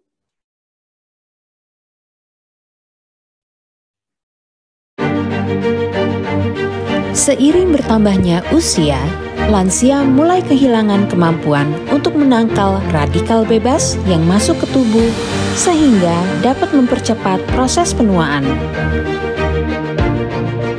Proses penuaan ditandai dengan menurunnya fungsi berbagai organ tubuh dan yang paling umum adalah penurunan pada massa otot atau yang biasa disebut dengan sarkopenia.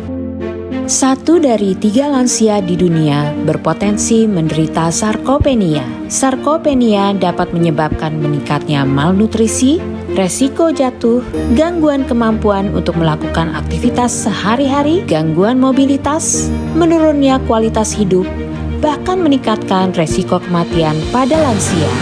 Memperkenalkan inovasi terbaru dari Kalbe Nutritionals, Entrasol Platinum dengan Profit Advance Formula dan dilengkapi kebaikan ekstrak buah zaitun yang mengandung hydrositirosol sebagai antioksidan alami dengan jumlah yang lebih tinggi dibandingkan dengan jumlah antioksidan di dalam vitamin C dan green tea. Antioksidan membantu menangkal radikal bebas, melindungi sel dari oksidatif stres, mencegah terjadinya oksidasi LDL kolesterol, serta mengurangi potensi terjadinya penyumbatan aliran darah. Entrasol Platinum juga mengandung nutrisi tinggi protein yang efektif untuk membantu menjaga massa otot, meningkatkan imunitas, dan mempercepat masa pemulihan. Dilengkapi dengan nutrisi tinggi serat, omega 3 dan 6, serta rendah laktosa yang aman untuk pencernaan tubuh lansia. Entrasol, nutrisi setiap hari. Entrasol. Shh, ini rahasia saya. Cuma entrasol yang ada ekstrak buah zaitunnya. Ekstrak buah zaitun Entrasol bantu tangkal radikal bebas. Entrasol tinggi proteinnya, bantu jaga massa ototku. Entrasol itu rendah laktosa, bikin nyaman di perut. Biar tetap aktif, saya minum Entrasol dua kali sehari. Mereka minum Entrasol. Bagaimana dengan Anda? Entrasol, nutrisi setiap hari.